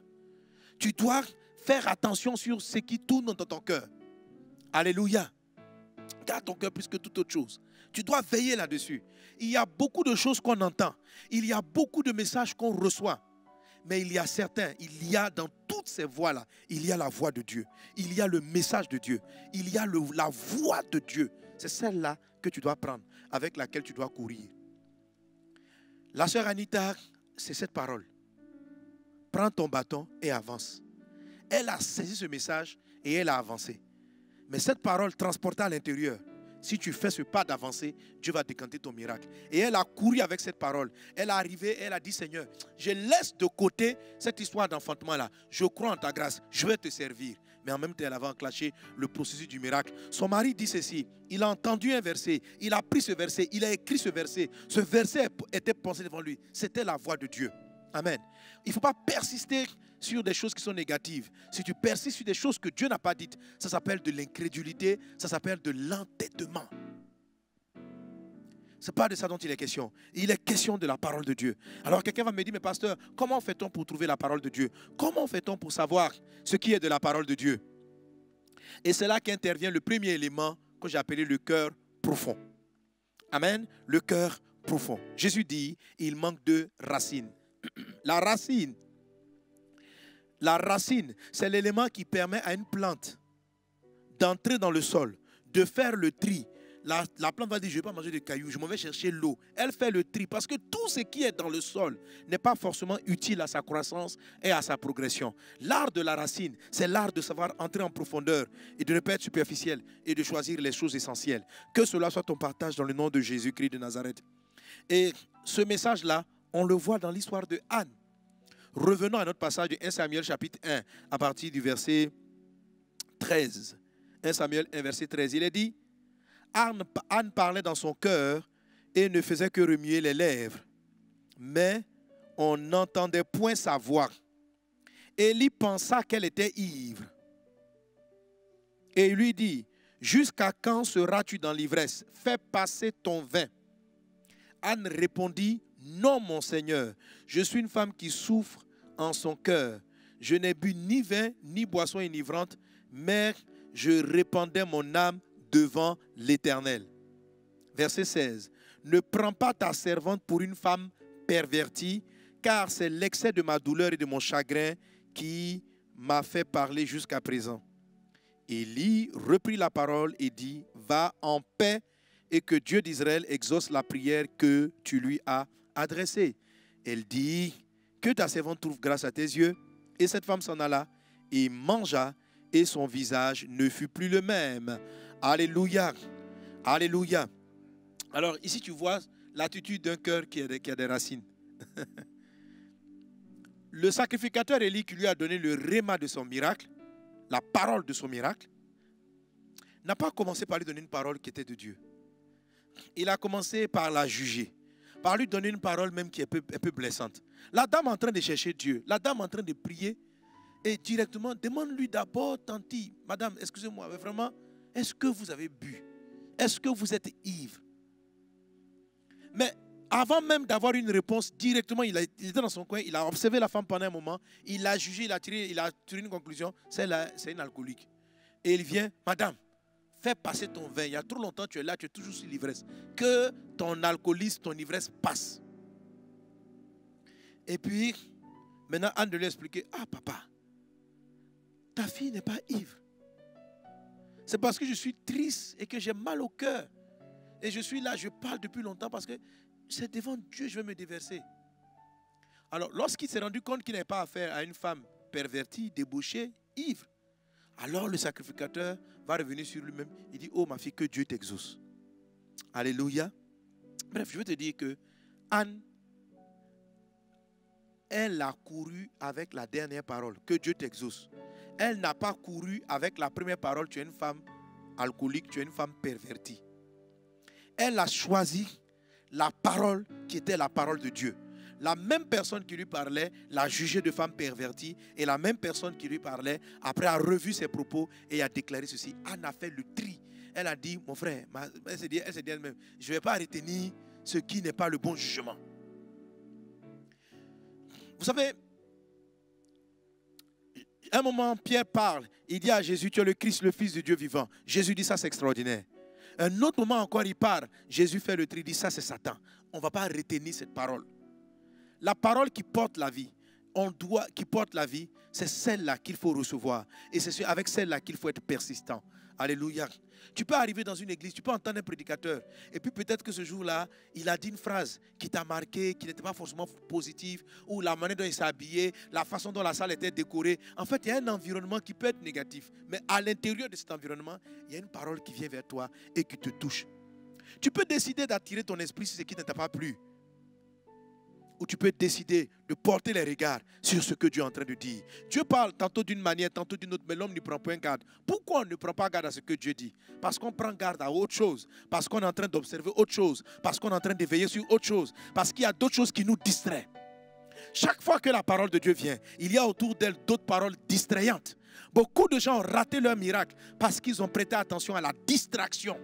Tout ce que papa Élie a dit, c'était de la distraction. C'était de la distraction au départ. Mais quand il a dit que Dieu t'exauce, là Dieu est en train de parler. Mon ami, cela arrive souvent. Alléluia. Tu vas entendre la parole, Dieu te dit, je vais, je vais te guérir. Et demain, ta copine qui peut venir te dire, ça là, tu es encore enceinte. Hé, hey, Yako, vraiment, tu souffres.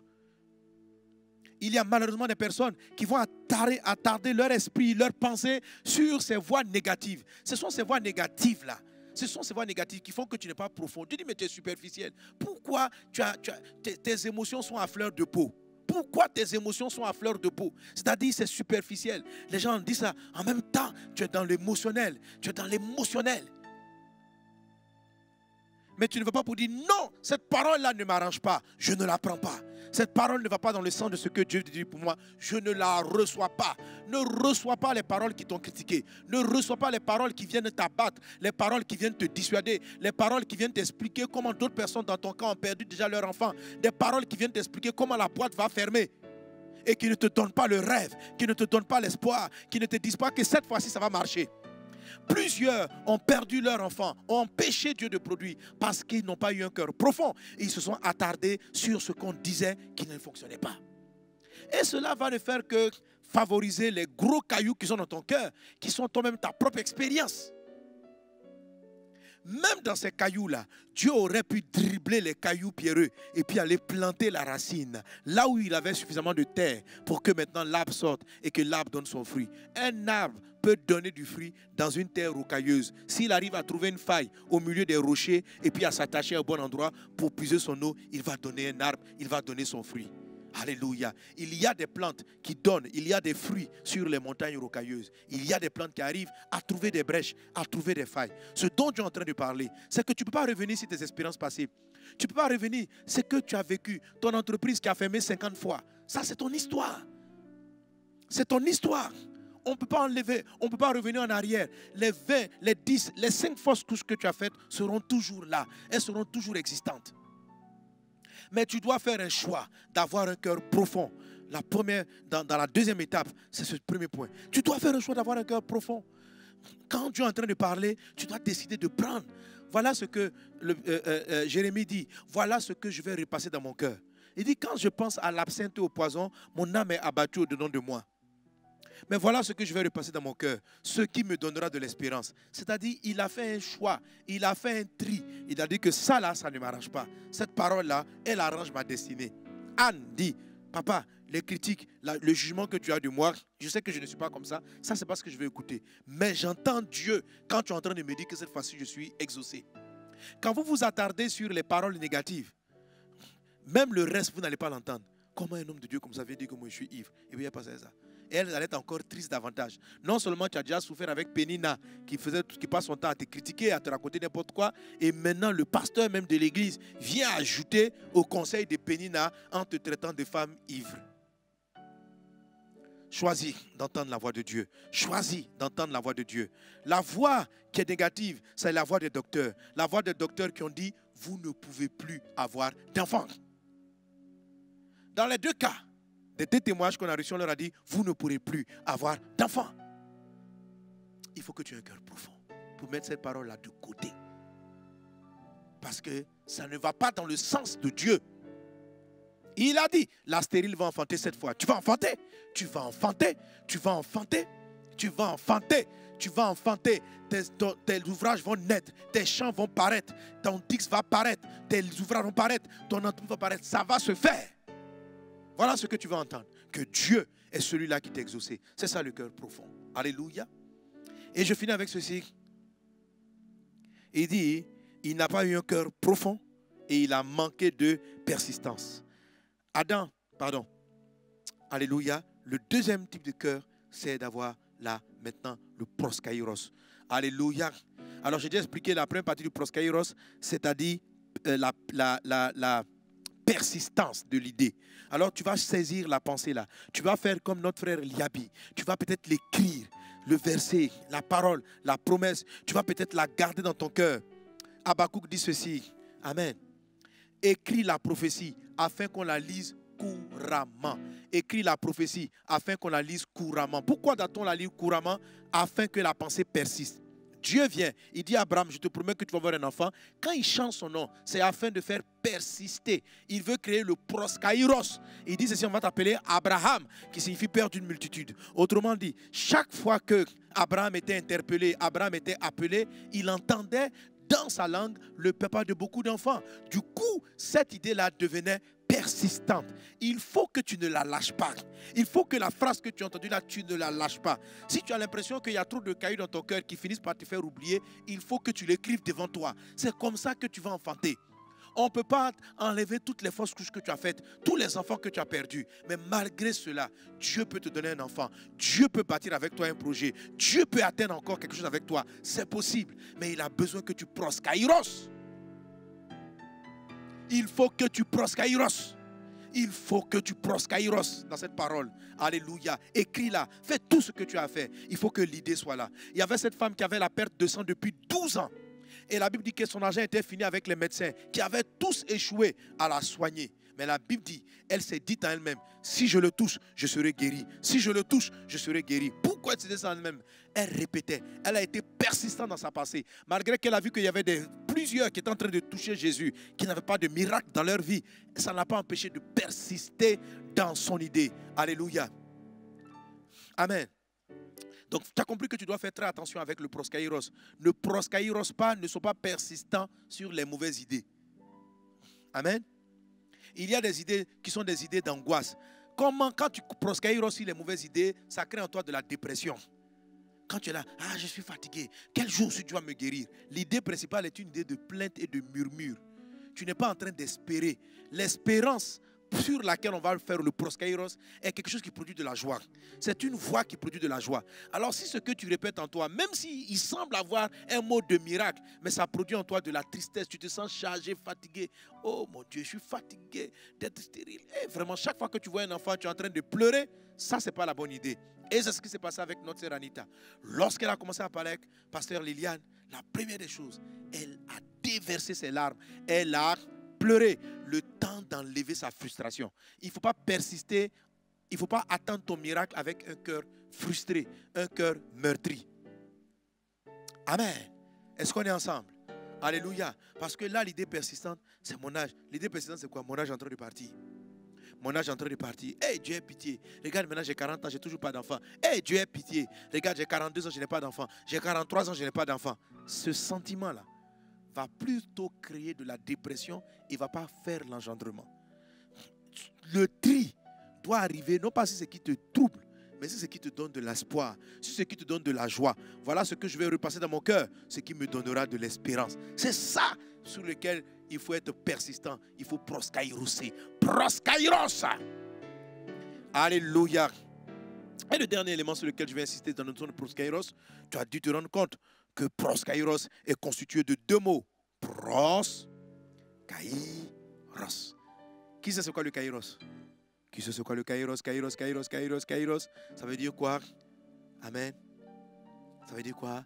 Ça veut dire, alléluia, le temps de Dieu, le temps favorable de Dieu. Amen. Alors, le mot pros kairos signifie littéralement, Amen, être proche ou bien déclencher ou à côté du temps de Dieu. Ou à côté du temps de Dieu. Amen. Et tous ceux qui sont entrés en mode proskairos, en mode pertinence, ils ont fait une chose. Ils ont précipité cette phrase-là. Dieu se souvient. On va voir la même chose avec Abraham et on voit la même chose avec Anne. La Bible dit au verset 19, ils se levèrent de bon matin 1 Samuel 1, 19. Ils se levèrent de bon matin et après s'être prosternés devant l'Éternel, ils s'en retournèrent et revinrent dans leur maison à Rama. Elkanah connut Anne, sa femme, et l'Éternel se souvient d'elle. Et l'Éternel se souvient d'elle. Le souvenir de Dieu, ça veut dire c'est le temps marqué de Dieu. Dieu est venu, ça veut dire c'est le kairos de Dieu, le temps de Dieu, le temps opportun de Dieu. Juste avant ça, le la Bible dit, au verset 19, la Bible dit, Alléluia, elle ne fut plus triste. Donc, Anne a persisté dans ce que le sacrificateur lui avait dit. Dieu t'a exaucé. Dieu t'a exaucé. Dieu t'exauce. Dieu t'exauce. Elle, elle a persisté sur Dieu t'exauce. Dieu t'exauce. Dieu t'exauce. Et parce qu'elle avait cette idée qui lui tournait, son visage ne fut plus le même. Alléluia. Et la dernière chose, Amen. Dès qu'elle a donc fait le proskairos, en même temps, ça a déclenché le souvenir de Dieu. Lorsque Abraham est devenu Abraham, lorsque Sarah, Sarai est devenue Sarah, la Bible dit Dieu aussi s'est souvenu d'Abraham. Le temps, le kairos de Dieu a pris place. La persistance déclenche le temps de Dieu, le souvenir de Dieu. Quand ce jour où tu es en train d'écouter ce message prophétique, que Dieu se souvienne de toi, que tu déclenches le souvenir de Dieu, le souvenir de la miséricorde, le souvenir de la compassion, le souvenir de la visitation, que le souvenir de Dieu soit ton partage, que le souvenir de Dieu soit ton partage, que le souvenir de Dieu soit ton partage. Maintenant, dans le nom de Jésus, mon ami, ce que je dis, c'est un enseignement, c'est une prédication, mais Dieu le fait. Aujourd'hui, est déclenché dans ta vie l'exaucement, le souvenir de Dieu. Et tu commences à monter les pas qui vont te conduire vers l'enfantement divin au nom de Jésus. Le miracle de l'Esprit Saint est en train de prendre place en toi. Le miracle de l'Esprit de Dieu est en train de prendre place en toi. Pense à ce miracle, vis ce miracle-là. Rabayota Ali Magesa, Lombaba, tu vas te tenir debout. Rokatarianda Brada Sorobara la si j'ai été blessé, si j'ai eu des expériences négatives, si mon cœur est devenu de pierre, je dois faire ceci. Je dois faire le tri des paroles que j'entends. Je dois avoir un cœur profond. Deuxième chose, je dois proskairos. Je dois persister la voix de Dieu. Maintenant, implore le Seigneur. Baba shota riba brada sota.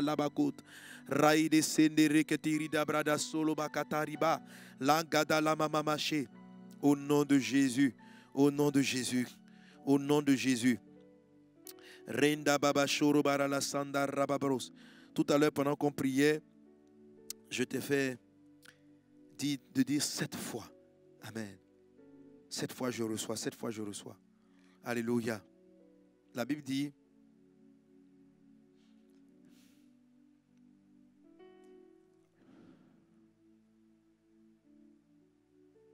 Job chapitre 5, verset 19. Six fois il te délivrera de l'angoisse et sept fois le mal ne t'atteindra pas. Et sept fois le mal ne t'atteindra pas. Alléluia. Le mal ne t'atteindra pas. Psaume 119, verset 164, il est dit, le psalmiste dit, David, sept fois le jour je te célèbre, sept fois le jour je te célèbre à cause de la justice.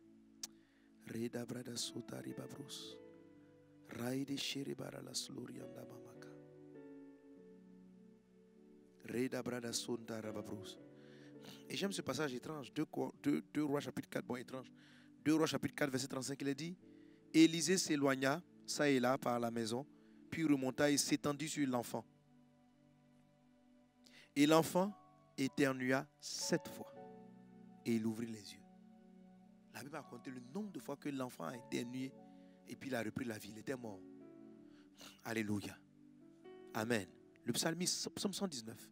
Sept fois le jour, je te célèbre. Amen. Tu vas dire avec moi, sept fois, victoire, victoire, victoire. Braille Santa Rabavros. Merci Saint-Esprit. Merci Saint-Esprit. Merci Saint-Esprit. Merci Saint-Esprit. Merci Saint-Esprit. On y va. Un, deux, trois. Victoire. Victoire. Victoire. Victoire. Victoire. Victoire. Victoire. Alléluia. Acclame Jésus. Et sur la base de ces paroles, nous allons maintenant prier le Seigneur pour la guérison, pour l'enfantement et pour toute autre forme de miracle. Alléluia. Dernièrement, il y avait une des vidéos qu'on a regardé, une fille qui avait une blessure, qui avait une plaie qui ne cicatrisait plus. Une plaie qui ne cicatrisait plus. Et elle arrivait à une de nos croisades, je crois, à celle de Soubré. Et elle dit, elle, se moquait des gens. Ses enfants l'ont dit, bon, Jésus peut guérir. Elle ne croyait pas. Elle voyait les personnes, les sourds qui entendaient, tous les témoignages qu'on donnait. Et elle s'est dit, oh, ça, ça, certainement, ça ne la concerne pas. Les gens font semblant. Et puis, à un moment donné, elle-même, euh, son fils, ou bien je ne sais plus que son fils l'a fait avancer. Et pendant qu'on priait, elle est tombée sous la puissance de l'Esprit de Dieu. Et quand elle s'est relevée, la cicatrice avait disparu. Elle avait été guérie. Alors quand on l'écoute, on se dit, mais cette dame-là, elle ne croit pas. Cette dame-là, elle est en train de douter. Pourquoi Dieu la visite? Pourquoi Dieu la guérit? Pourquoi Dieu honore sa foi? Et l'Esprit Dieu me dit, mais tu sais qu'elle avait la foi. Je dis, mais elle, elle réunit tous les miracles. Non. Sa chair riait, mais dans son cœur, elle, ce qui persistait en elle, Dieu peut-il guérir? Dieu peut-il guérir? Dieu peut-il guérir? Vous savez, souvent, ce qu'on dit différent de ce à quoi on pense. Ce qui produit la vie dans la deuxième étape, c'est vraiment ce qui se passe à l'intérieur de toi. ce n'est pas d'abord ce que ta bouche dit, c'est vraiment ce qui se passe à l'intérieur de toi. La Bible dit, garde ton cœur plus que toute autre chose, parce qu'il est la source de la vie. Donc, la vie qui, la vie qui va prendre cette entreprise-là et l'amener à son existence, la vie qui va venir toucher la partie malade et, lui accorder la santé, elle vient profondément des pensées persistantes que tu as dans ton cœur. Alléluia. Si quelqu'un se pose la question constamment, Jésus est-il le chemin, la vérité? Est-ce que Jésus est vraiment le salut? Est-ce que c'est Jésus qui est le chemin? Est-ce que vous savez que ce qu'il pense là va le conduire vers le salut? Pourquoi les gens disent que Jésus est Dieu? Moi, je ne suis pas sûr que Jésus soit Dieu. Pourquoi les gens disent que Jésus est Dieu? Je ne suis pas sûr. Il va voir que Jésus est Dieu. Il va se convertir. Le doute dans la parole de Dieu, ce n'est pas le fait de régner. C'est le fait de rappeler dans son cœur une mauvaise version. C'est la foi, la foi, la foi. C'est le fait de faire tourner un disque sur la parole de Dieu en soi. C'est ce qu'on appelle proskairos, persistance. Alléluia. Il est celui qui me guérit. Il est celui qui me guérit. Notre sœur Anita a dit, elle a dit, elle a saisi la parole. Mais la parole ne disait pas qu'elle allait avoir un enfant. On disait simplement, prends ton bâton, avance. Et elle a pris la parole et elle a avancé. Elle a plus pleuré. Elle s'est plus lamentée pour sa grossesse, pour avoir un enfant. Elle a juste avancé. Pendant que sa parole persistait, tu étais en train de s'occuper et de rétablir tout ce qui était endommagé. Ce même message est vrai pour tout cas de guérison. Nous allons élever notre voix et nous allons prier. En toute chose, il faut le Saint-Esprit. Nous allons appeler le Saint-Esprit et après quoi, nous allons prier. Alléluia. Brenda salabarakata ribabrus. Reda bradas glorianta bradas glorianda. Raides glorianda bradas glorianta babashi. Breda bradas sorobara la clarianda bradas sorobara la clo. Raides shiribara la clarianda bradas suta rababro. Brenda brada sarabara la clarianda brada sorobara la ka. Reda brada sorobara la cantar brada slorianda bra. Raide sorobara la clarianda brada sarabara la glorianda bro. Roda brada slorianda brada serebara la clarianda ba. Shekatarianda brada sorobara la clarianda bra.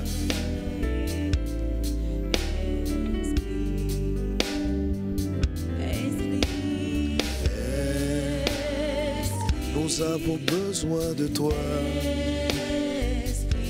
Au nom de Jésus. Esprit de Dieu. Esprit de Dieu.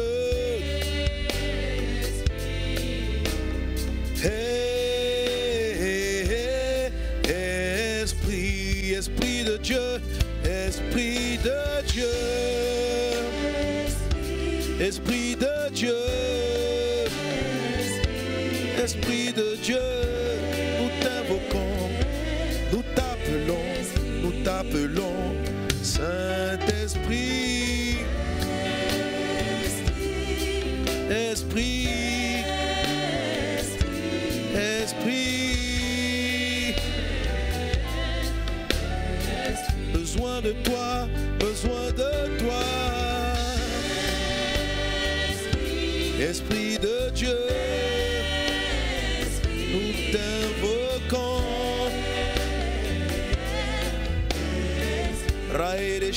baras glorianda brada sota la babro. Raire glorianda bradas glorianda baba shara barana glo. Raire sere marana glorianda bradas glorianda baba ba. Braides glorianda bradas larianda bradas glorianda bra. Rai katali baba baba baba shantara babro. Raides glorianda bradas glorianda bradas glorianda ba. Raide glorianda ba. Saint-Esprit, nous t'appelons. Saint-Esprit, je t'invoque le contre toute chose. Seigneur, viens me conduire dans ce moment de prière. Seigneur, viens nous conduire dans ce temps de prière. Viens nous diriger. Viens nous diriger. Viens nous parler. Viens nous parler. Esprit de Dieu.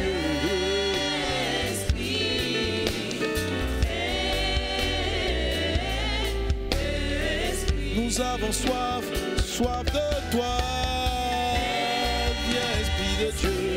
Viens, Esprit de Dieu. Esprit de Dieu. Viens, Esprit de Dieu. Esprit de Dieu, Esprit de Dieu. Esprit de Dieu. Saint-Esprit, prends le contrôle. Esprit du Seigneur, sur moi. Mets les mots ma bouche.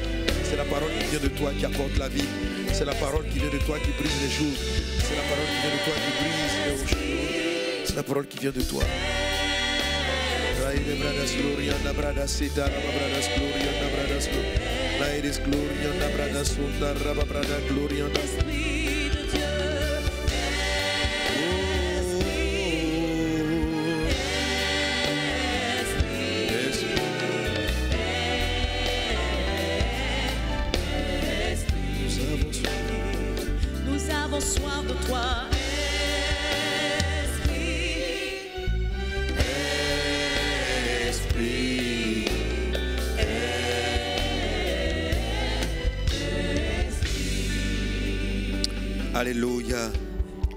Genèse chapitre 25, verset 21, il est dit, Isaac implora l'Éternel pour sa femme, car elle était stérile. Et l'Éternel l'exauça. Rebecca devint enceinte. Alléluia. Nous allons prier, nous allons implorer, nous allons nous attendre à la grâce de Dieu pour dire Seigneur, aujourd'hui nous croyons en ta grâce et en ta faveur. Merci parce que tu nous guéris. Et tu vas implorer, Seigneur, guéris-moi. Seigneur, restaure-moi. Seigneur, je te supplie, rends-moi fructueux, que ma vie enfante. Tu vas implorer le Seigneur, tu vas implorer, tu vas supplier Jésus, lui demander, Seigneur, à ma vie d'être- d'être d'être une vie qui procrée, d'être une vie qui crée, d'être une vie qui engendre. Je suis fatigué, Seigneur, d'être stérile. Stérile en, activité, stérile en projet, stérile. La stérilité peut prendre différentes formes. Et l'Esprit du Seigneur, peut-être pendant la parole, a mis le doigt sur un aspect de ta vie dans lequel il y a une forme de stérilité. De stérilité, tu vas prier le Seigneur, tu vas implorer Dieu, tu vas implorer comme Isaac, tu vas implorer, tu vas implorer le Seigneur, tu vas implorer. Si tu entends un bébé, tu vas implorer Dieu, tu vas implorer, tu vas demander la grâce de Dieu. Ensemble, élevons nos voix, Il est le Dieu de toute grâce, il est le Dieu de toute miséricorde. Implore. Mets la connexion entre le ciel et toi. Et permets à Dieu d'envoyer cet enfant dans le nom de Jésus.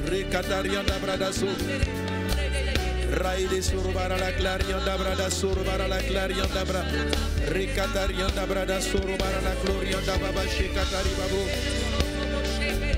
Prede bradas glorianda brada serebara la clarianda baba se.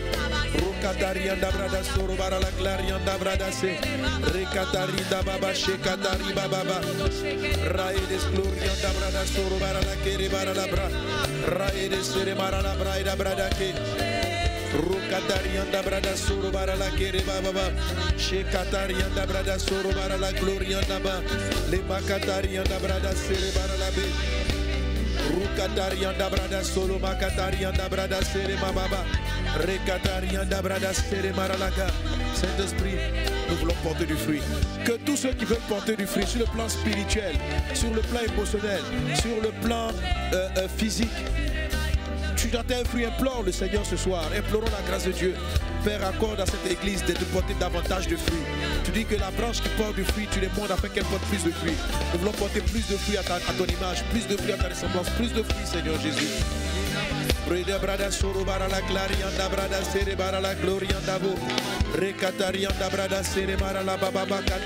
la.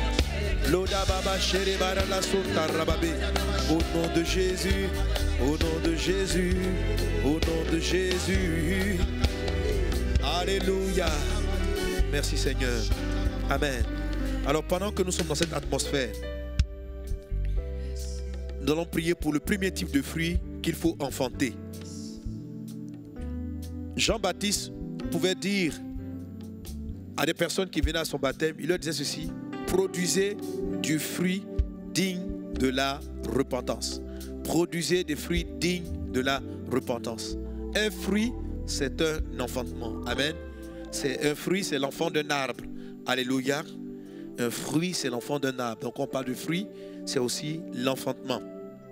Le fruit de l'esprit, c'est l'enfantement de la semence du Saint-Esprit en nous. Alléluia. Un bébé humain biologique, c'est l'enfantement de la semence euh, euh, dans d'une semence de sperme dans euh, les entrailles d'une femme. Amen. Donc nous sommes en tant qu'êtres existants des fruits. Nous sommes aussi le fruit de la parole de Dieu. Alléluia. Le corps biologique des parents va engendrer le corps. Mais la vie, Amen. Le souffle de vie qui fait que l'enfant respire, les parents ne peuvent pas te dire d'où il vient. Amen. Les scientifiques voient l'enfant se former dans le ventre de la mère. Ils voient, mais ils ne savent pas à quel moment la vie, la vie, la vie rentre. La vie vient. Et cette vie-là, c'est la voix de Dieu qui arrive pour dire tu vivras. La voix de Dieu. Alléluia. Et c'est celle-là que nous allons chercher. C'est celle-là que nous voulons. C'est celle-là que nous cherchons. Amen. Amen. Alors, la première semence qu'il faut avoir et le premier fruit qu'il faut porter, c'est le fruit de la repentance. C'est le fruit de la conversion. Dieu envoie sa parole vers toi pour te guérir, mais cette fois-ci pour te guérir du péché, pour changer ta vie, pour te guérir de l'adultère, pour te guérir de la compromission, pour te guérir du mensonge, pour te guérir de l'esclavage à la drogue et à la cigarette. Jésus envoie sa parole pour te guérir de l'alcoolisme, pour te guérir d'une vie adultère. Parce que le fruit que tu produis là est un fruit de perdition, le fruit d'adultère, le fruit euh, euh, euh, de drogue, de cigarette, d'alcoolisme, de débauche, de perversion est un fruit qui est mangé par les démons et qui est très recherché en enfer. Tu dois arrêter de porter ce fruit, te repentir de l'avoir une fois porté dans ta vie. Demande au Seigneur pardon et inviter l'enfantement divin. Inviter Jésus-Christ afin qu'il vienne entrer dans ton cœur, qu'il vienne entrer dans ton cœur, que par sa sainte présence, il extirpe de toi tous les blocages et qu'il installe sa vie. Alors, tu porteras du fruit de la repentance. Ta vie va changer. Tu vas te détourner des mauvaises œuvres et tu vas marcher avec le Seigneur. Alors toi qui entends ma voix, si tu es au son de ma voix, si tu n'as pas encore reçu Jésus dans ta vie comme ton Seigneur et ton Sauveur, fais-le maintenant. Ne te précipite pas vers la prière, je veux un enfant, je veux me marier. Non. Commence d'abord par rencontrer le Sauveur. À quoi ça te servira d'avoir dix enfants, des jumeaux, des triplés, si vous ne vous verrez pas au ciel? Et si quelques-uns seront en enfer, si tu pars en enfer, tes enfants sont au ciel. Quelle tristesse. L'éternité vient devant toi. C'est pourquoi commence par le premier fruit à manifester, le premier enfantement à donner. C'est l'enfantement de la vie chrétienne. C'est le fruit de la repentance. Donne-toi à Jésus. Alors toi qui veux recevoir Jésus comme ton Seigneur et ton Sauveur, si tu entends le son de ma voix, tiens-toi debout à ta place et fais cette prière avec moi. Tiens-toi debout devant ton écran et fais cette prière avec moi. Dis avec moi, oh Dieu, j'ai entendu ta parole et je reconnais que je suis pécheur, que je vis dans le péché. Seigneur, je reconnais que ce n'est pas une bonne vie, que ce n'est pas celle à laquelle tu m'as destiné. Mon Père, aujourd'hui, je reviens vers toi. Lave-moi par ton sang. Purifie-moi par ton sang. Jésus, viens entrer en moi. Viens entrer dans mon cœur. Viens entrer dans mon cœur. Change-moi. Change ma vie. Change mon être. Je te reçois. Tu es mon Seigneur. Tu es mon Sauveur. Je crois que tu es mort à ma place pour que je sois sauvé. Je te crois. Je te donne ma vie. Au nom de Jésus. Amen. Quelqu'un acclame le Seigneur Jésus. Alléluia. C'était la première étape de ma prière. Et toi qui me suis en ligne, tu peux envoyer le mot yes au plus 225 08 10 0000. Tu envoies ce numéro, tu envoies yes en WhatsApp à ce, à ce numéro. Tu envoies yes, amen, à ce numéro. Et tu seras pris en charge par une équipe pastorale qui va t'aider dans ta foi à croître et qui pourra t'aider, te conduire jusqu'au baptême. Tu peux aussi scanner le code QR qui apparaît sur l'écran pour marquer ta décision de recevoir Jésus comme Seigneur et Sauveur. Amen. Maintenant, nous allons prier et croire dans la grâce de Dieu pour les malades. J'ai une liste de personnes, non pas pour les malades, pour les personnes qui étaient malades. Parce que tu ne vas pas repartir chez toi étant malade. Alléluia. Gloire à Jésus. Amen. Nous avons imploré le Seigneur pour la guérison. Et je rappelle que même si je mets l'emphase sur les euh, maladies euh, qui empêchent l'enfantement, même si je mets l'emphase là-dessus, nous allons tout de même, je vais tout de même prier pour toute forme de maladie et bien sûr pour toute forme de blocage qui empêche les personnes de manifester un fruit que Dieu a déposé dans leur vie. Alléluia.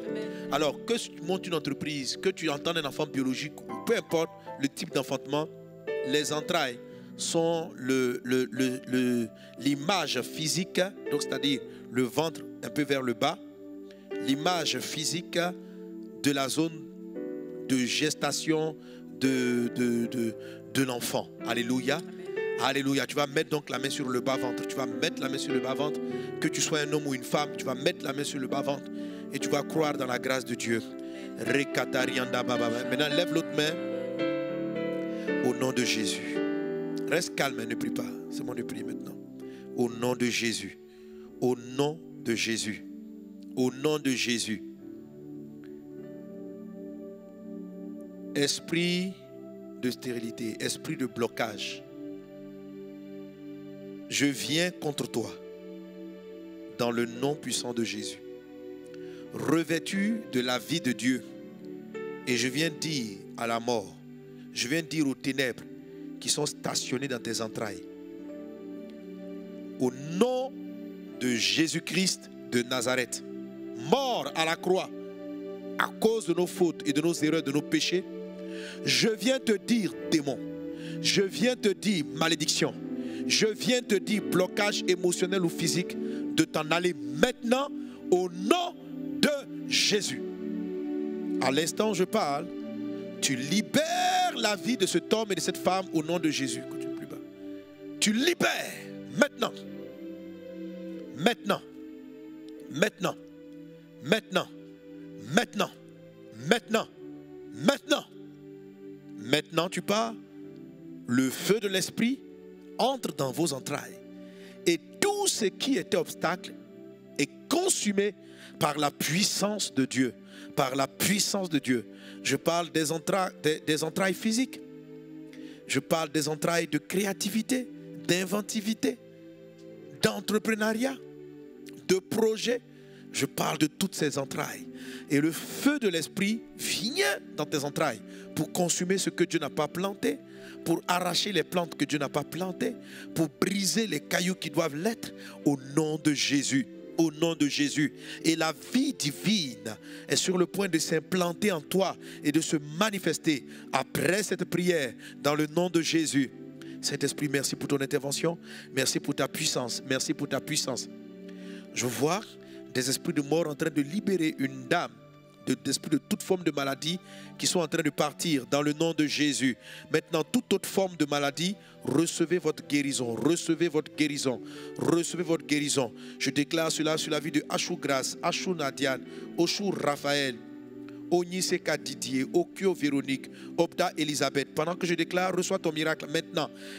Les puissances de l'enfer sont en train de partir de toi. Je déclare la santé, la guérison. Patricia Jacquin, Pauline, Phobé Akadjie, Petrus Claudia, Dernila, Rabé Hervé, Rokia, Rosine Odini, Sangare Evodi, Sawadogo Damatou, Sawadogo Françoise, Rikata Riba, Vera Hall, Véronique Okio, Yannick Bois, Yannick, Yeli Koulibaly, Yo Michel, Yombi Christelle.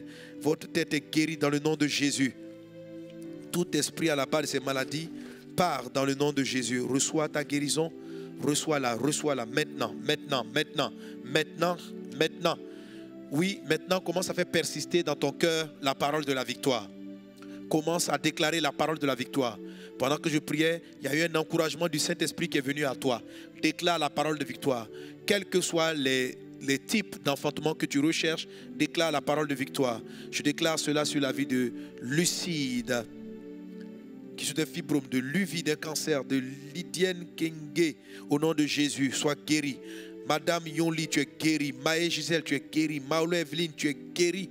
Au nom de Jésus, tous ces problèmes de cœur partent par la puissance du nom de Jésus-Christ de Nazareth.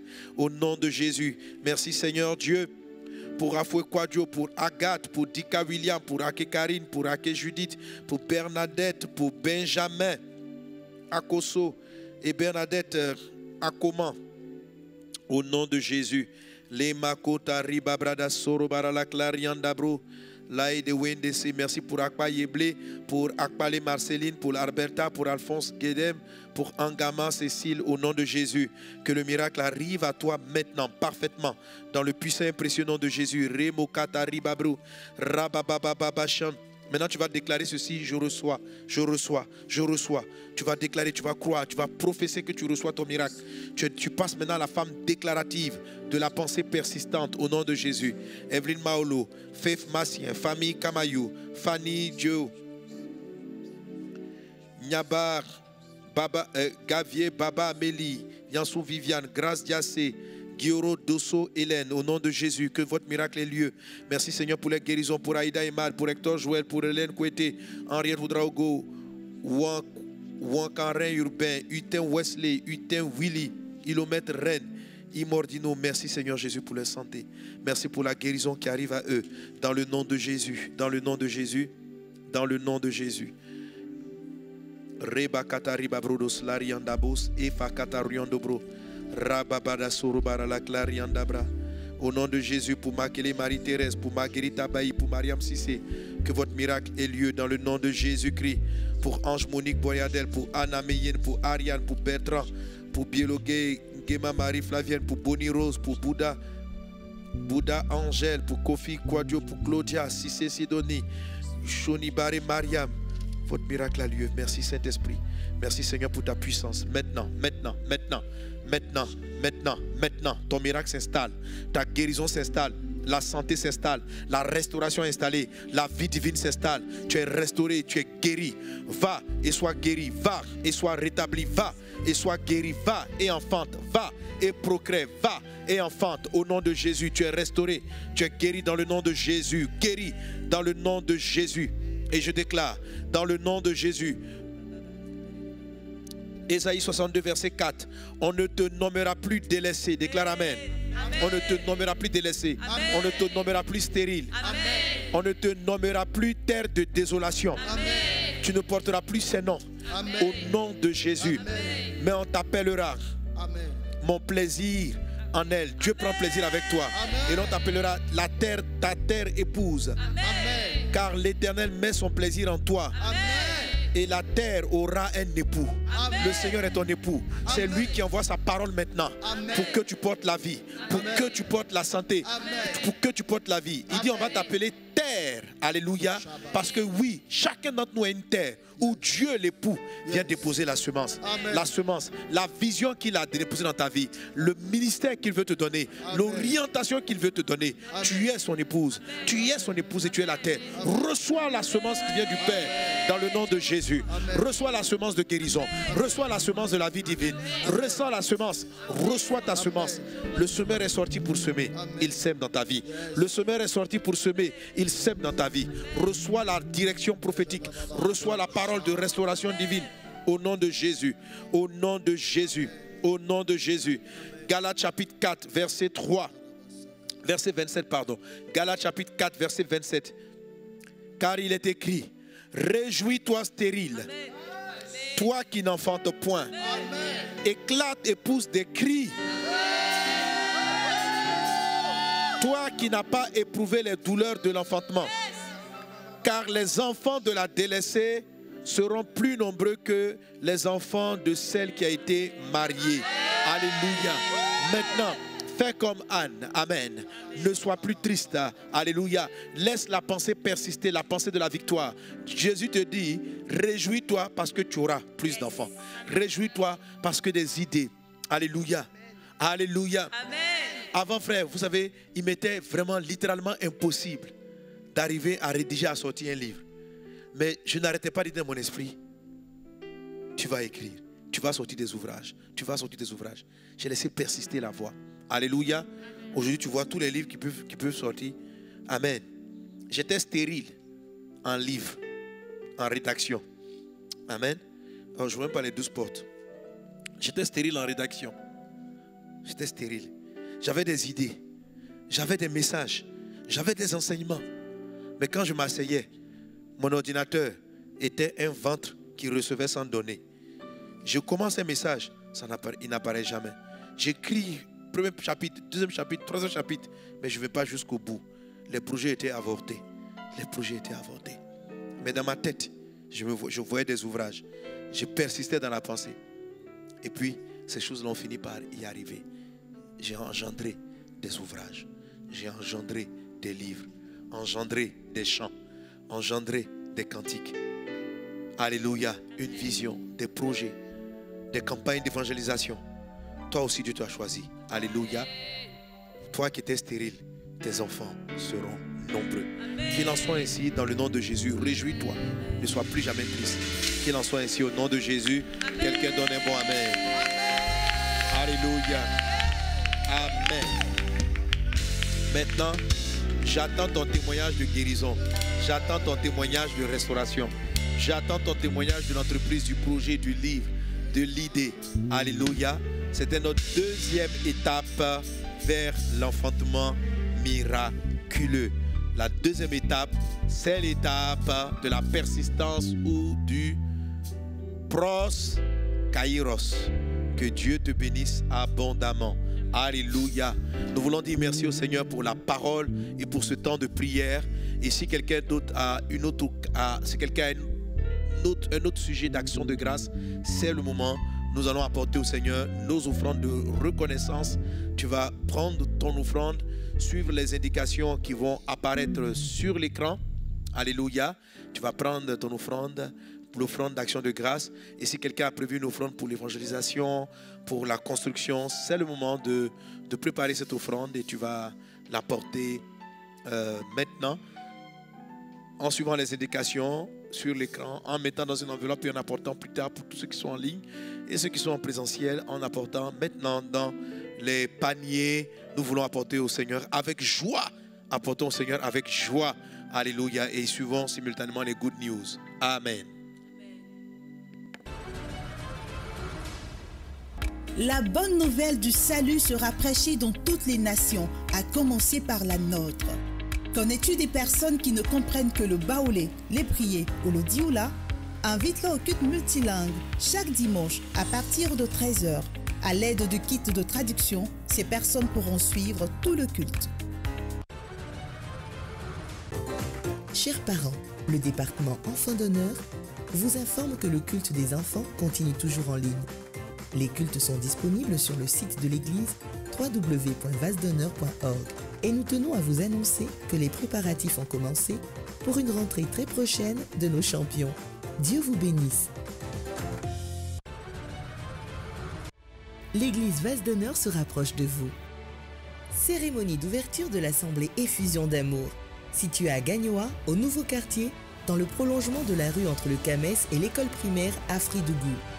Les horaires de culte, culte du dimanche, premier culte 8h à 9h45, deuxième culte 10h à 11h45.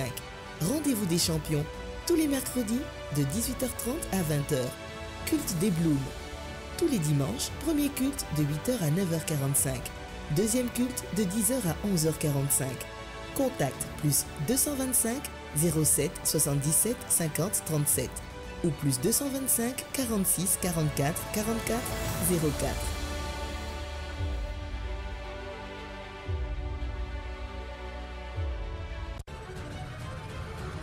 « 12 portes d'influence pour transformer une nation » le nouveau livre du pasteur Mohamed Sanogo.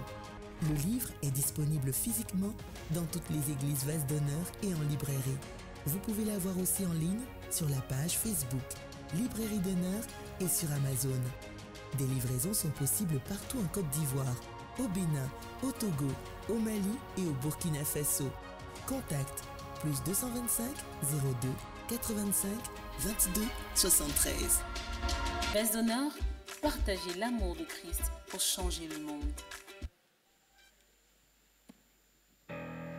Alléluia. Quelqu'un acclame Jésus pour toutes ces bonnes nouvelles. Amen. Gloire à Dieu. Et j'aimerais donc insister à ce que tu n'oublies pas, tu n'oublies pas, tu te connectes demain euh, nuit à notre programme d'intercession Night Fire. Amen.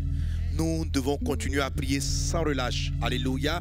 Alors, on a fini une étape d'information et d'enseignement. Alors, euh, euh, à partir de demain nuit, je vais donner des instructions, des directions prophétiques selon ce que le Seigneur me dit pour prier pour les nations. Donc, je me connecter pour partager les sujets et des orientations. Et puis maintenant, on va rentrer vraiment dans les phases d'interprétation des songes, euh, de confirmation des directions, etc. pour pouvoir agir. À Nightfire, on a créé les différents groupes, ceux qui reçoivent les révélations, groupe 1, interprétation, groupe 2, euh, direction, orientation, groupe 3. Les groupes font des tours. On est formé pour pouvoir apprendre à recevoir un message, interpréter. Donc je serai plus dans cet environnement-là. On va lire des témoignages, on va lire certaines choses et puis on va passer à la phase pratique. On va prier pour avoir l'interprétation. Donc voilà, ce sera quelque chose de très pratique à partir de demain soir. Donc ne manquez pas Nightfire. En heure GMT, c'est à partir de minuit et on peut dans notre formation aller jusqu'à une, deux heures, trois heures. La dernière fois, on a fini à quatre heures. Alléluia. Et je, suis étonné. hein. C'est vrai qu'il y en a qui dorment. hein. Amen. Mais la manière dont l'onction maintient les gens éveillés, c'est impressionnant. Ouais. Je crois qu'il y a une onction. C'est une onction de téléchargement divin. Amen. Dieu est en train d'équiper une armée d'intercesseurs et de prophètes. Et les nations en ont besoin. Le monde a besoin, besoin, besoin de prière. L'année 2020-2021 sont des années charnières, très délicates en Afrique et dans le monde entier. Il va y avoir de grands bouleversements. Il est important que l'Église de Jésus se positionne dans la prière prophétique pour déclarer les paroles de Dieu. Quelqu'un donne un bon Amen. Alors donc ne manque pas ce programme, cette école de formation. Alléluia. Gloire à Jésus. Nous voulons dire merci au Seigneur pour les offrandes. Et je vais inviter tous ceux qui ont donné pour euh, la construction, pour l'évangélisation, de bien vouloir se tenir debout. Merci Seigneur Jésus, merci pour ta grâce, merci pour ta parole, qu'elle porte son fruit dans notre vie. En ton nom, je bénis tous ceux qui s'aiment pour la construction. Élargis-les en terre, élargis-les en maison. Tu nous as montré combien de fois tu es fidèle et que tu le fais. Qu'il en soit ainsi dans vos vies, au nom de Jésus. Les semeurs pour l'évangélisation, que l'onction vienne dans leur vie. Faites des gagnants d'âme. Sauve les membres de leur maison et les personnes pour qu'ils prient.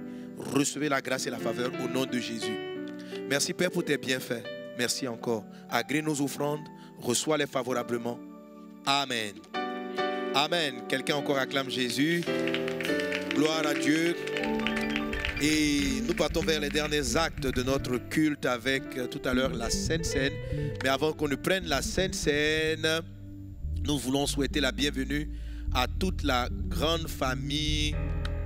euh, pardon, nous voulons souhaiter la bienvenue à tous les nouveaux, à tous ceux qui sont là pour la première fois et bien sûr aussi à tous ceux qui sont connectés pour la première fois en ligne. Alléluia. Voilà, nous voulons vous souhaiter la bienvenue. Alors, si tu es là pour la première fois, tu vas te tenir debout et on va te dire bienvenue. Alléluia. Avec Intimacy Choir, on souhaite la bienvenue à tous nos nouveaux.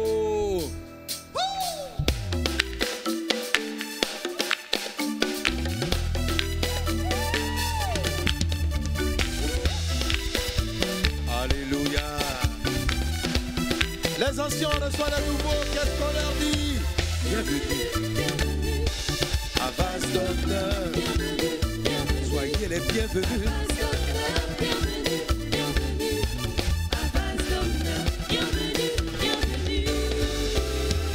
Nous vous accueillons parmi nous. Heureux de te voir parmi nous. Manifeste la joie du Seigneur.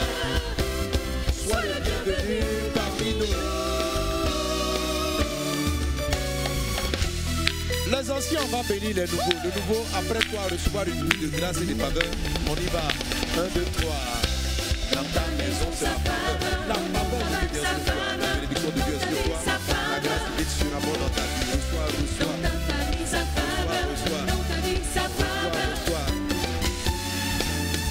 Soyez les bienvenus à base d'honneur.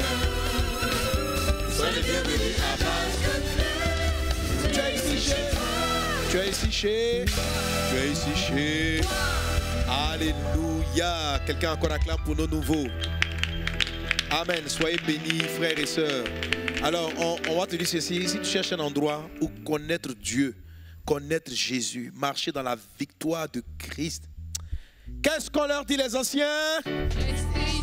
Restez ici. Alléluia, tu es chez toi. Et il y a donc l'information qui apparaît sur l'écran maintenant. Rejoindre, Alléluia. Tu envoies le mot rejoindre au WhatsApp qui, euh, au numéro WhatsApp qui va s'afficher, donc plus 225 08 10 0000. Amen. Ou tu scannes le code QR qui est là sur l'écran et tu seras pris directement donc en charge par euh, une équipe pastorale qui vont t'aider à intégrer cette grande famille vase d'honneur. Alléluia. Aujourd'hui, si tu suis le culte en ligne, donc le culte est assez spécial. On a donc très peu de personnes en présentiel. Donc, euh, il n'y aura pas sur la gauche, la droite. Alléluia. Donc tous nos nouveaux sont en ligne. Je vous bénis tous dans le nom de Jésus-Christ. Et dès que l'occasion le permet, en tout cas, on croit, on le sait, euh, le week-end prochain, on est tous là physiquement pour faire le culte en présentiel. Amen. Et nous faisons cela. Ça nous donne encore des sujets de prière pour bénir notre nation et pour bénir nos nations. Dis avec moi que la terre de Côte d'Ivoire soit bénie dans le nom de Jésus. Que la lumière brille et que les ténèbres soient dissipées. Que les troubles soient dissipés et que la paix de Dieu s'installe. Qu'il en soit ainsi. Dans le puissant et précieux nom de Jésus. Amen. Quelqu'un acclame fortement Jésus. Alléluia. Gloire à Dieu. Amen, amen, amen. Je veux maintenant déclarer des paroles de grâce et de bénédiction pour la semaine. Et nous voulons déclarer des paroles aussi favorables sur les nations. Quel que soit l'endroit où tu es, tu vas te tenir debout et recevoir cette faveur divine. Seigneur, je te rends grâce parce que tu nous donnes l'occasion d'être là devant toi et de pouvoir écouter ta parole. C'est une bénédiction d'avoir tous les week-ends un culte, un culte, un moment spécial mis à part pour toi. Je vais en ton sein nom relâcher des faveurs, des faveurs. Alors pour toi, frères et sœurs, j'entends le mot faveur. Sa faveur vient sur toi. Sa faveur. Tu es divinement favorisé. La semaine qui arrive sera pour plusieurs d'entre vous une semaine de distinction, de faveur divine. Tu vas sentir nettement la faveur de Dieu te mettre à part, la faveur de Dieu te distinguer. Tu seras divinement favorisé. Dans un rang long, tu seras mis en premier, divinement favorisé. Et cela va se passer dans toute ta vie. Où il y avait des dossiers où tu devais être payé en retard, tu seras divinement favorisé. Tu vas sentir une grâce particulière qui va te conduire et t'accompagner durant toute la semaine. Tu es béni dans le nom de Jésus. La grâce de Dieu sera bonne dans ta vie. La faveur de Dieu dans ta vie. Ta maison est bénie dans le nom de Jésus. Je prophétise la protection divine. La protection divine sur ta maison, sur tes enfants, sur tes proches. Le sang de Jésus vous garde. Je rappelle ce que j'ai dit. Que ton cœur ne se trouble pas. Crois en Dieu. Crois en Jésus. Crois en Dieu. Crois en Jésus. Ne sois pas troublé. Ton Dieu est avec toi. Alléluia. Quand tu sens la panique et quelles que soient les informations que tu entends, ne cours pas d'abord. Reste calme. Va chercher la présence de Dieu et lis la Bible. Tu vas tomber sur des passages qui vont te fortifier. Et mets ta foi sur ce qu'il a dit. Alléluia. Et non sur les informations et les bruits que tu entends dehors. C'est dans ce calme-là que tu vas recevoir l'orientation.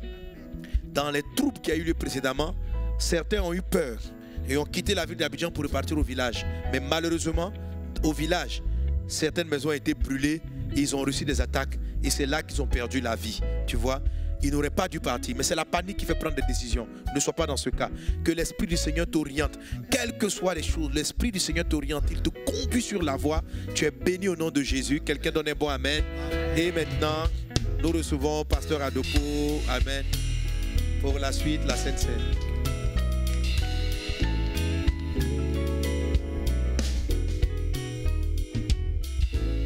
Alléluia. Est-ce que nous pouvons continuer d'acclamer le Seigneur? Amen. Amen. Nous allons nous approcher de la table du Seigneur. Je voudrais donc euh, inviter tous ceux qui ont été plongés dans les eaux du baptême à se tenir debout avec nous. Et nous allons partager cette portion des Écritures. Il est extrait de 1 Samuel chapitre 1 à partir du verset 16.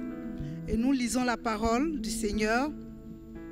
Ne prends pas ta servante pour une femme pervertie, car c'est l'excès de ma douleur et de mon chagrin qui m'a fait parler jusqu'à présent. Élie reprit la parole et dit, va en paix, et que le Dieu d'Israël exauce la prière que tu lui as adressée. Elle dit, que ta servante trouve grâce à tes yeux. Et cette femme s'en alla, elle mangea et son visage ne fut plus le même. Et le pasteur Sanogo vient de nous expliquer que si son visage n'a plus été le même, c'est parce que elle a persisté. Et le mot grec qui traduit persister, c'est proskairos. Alléluia. Ce soir, nous allons nous approcher de la table du Seigneur afin que le corps et le sang de Jésus nous fortifient, scellent cette parole que nous avons entendue. Alléluia. Alors la Bible déclare que la nuit où il fut livré, il prit du pain et il rendit grâce. Tendre Père, nous voulons te bénir et te dire merci. Merci pour ce pain qui dès lors devient ton corps. Alors que nous allons le partager. Merci parce qu'il scelle la guérison que nous avons reçue. Merci parce qu'il scelle la fécondité dans tous les domaines que nous avons reçus. Merci Seigneur Dieu parce qu'il nous donne la force de Prokairos au nom de Jésus. Amen. La Bible dit qu'il a rompu le pain et il a donné à ceux qui étaient à table avec lui.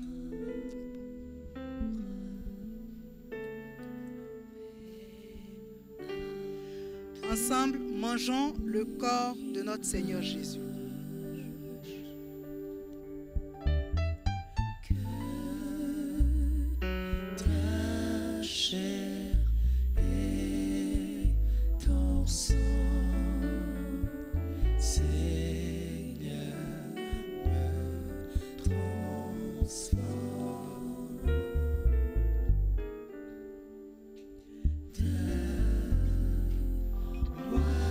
La Bible dit que de même après souper, il prit la coupe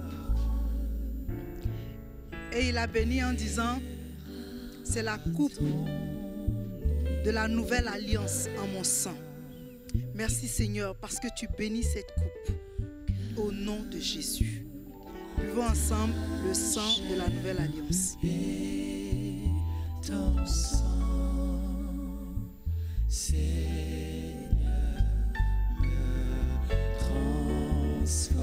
Alléluia. Le pasteur nous a déjà bénis.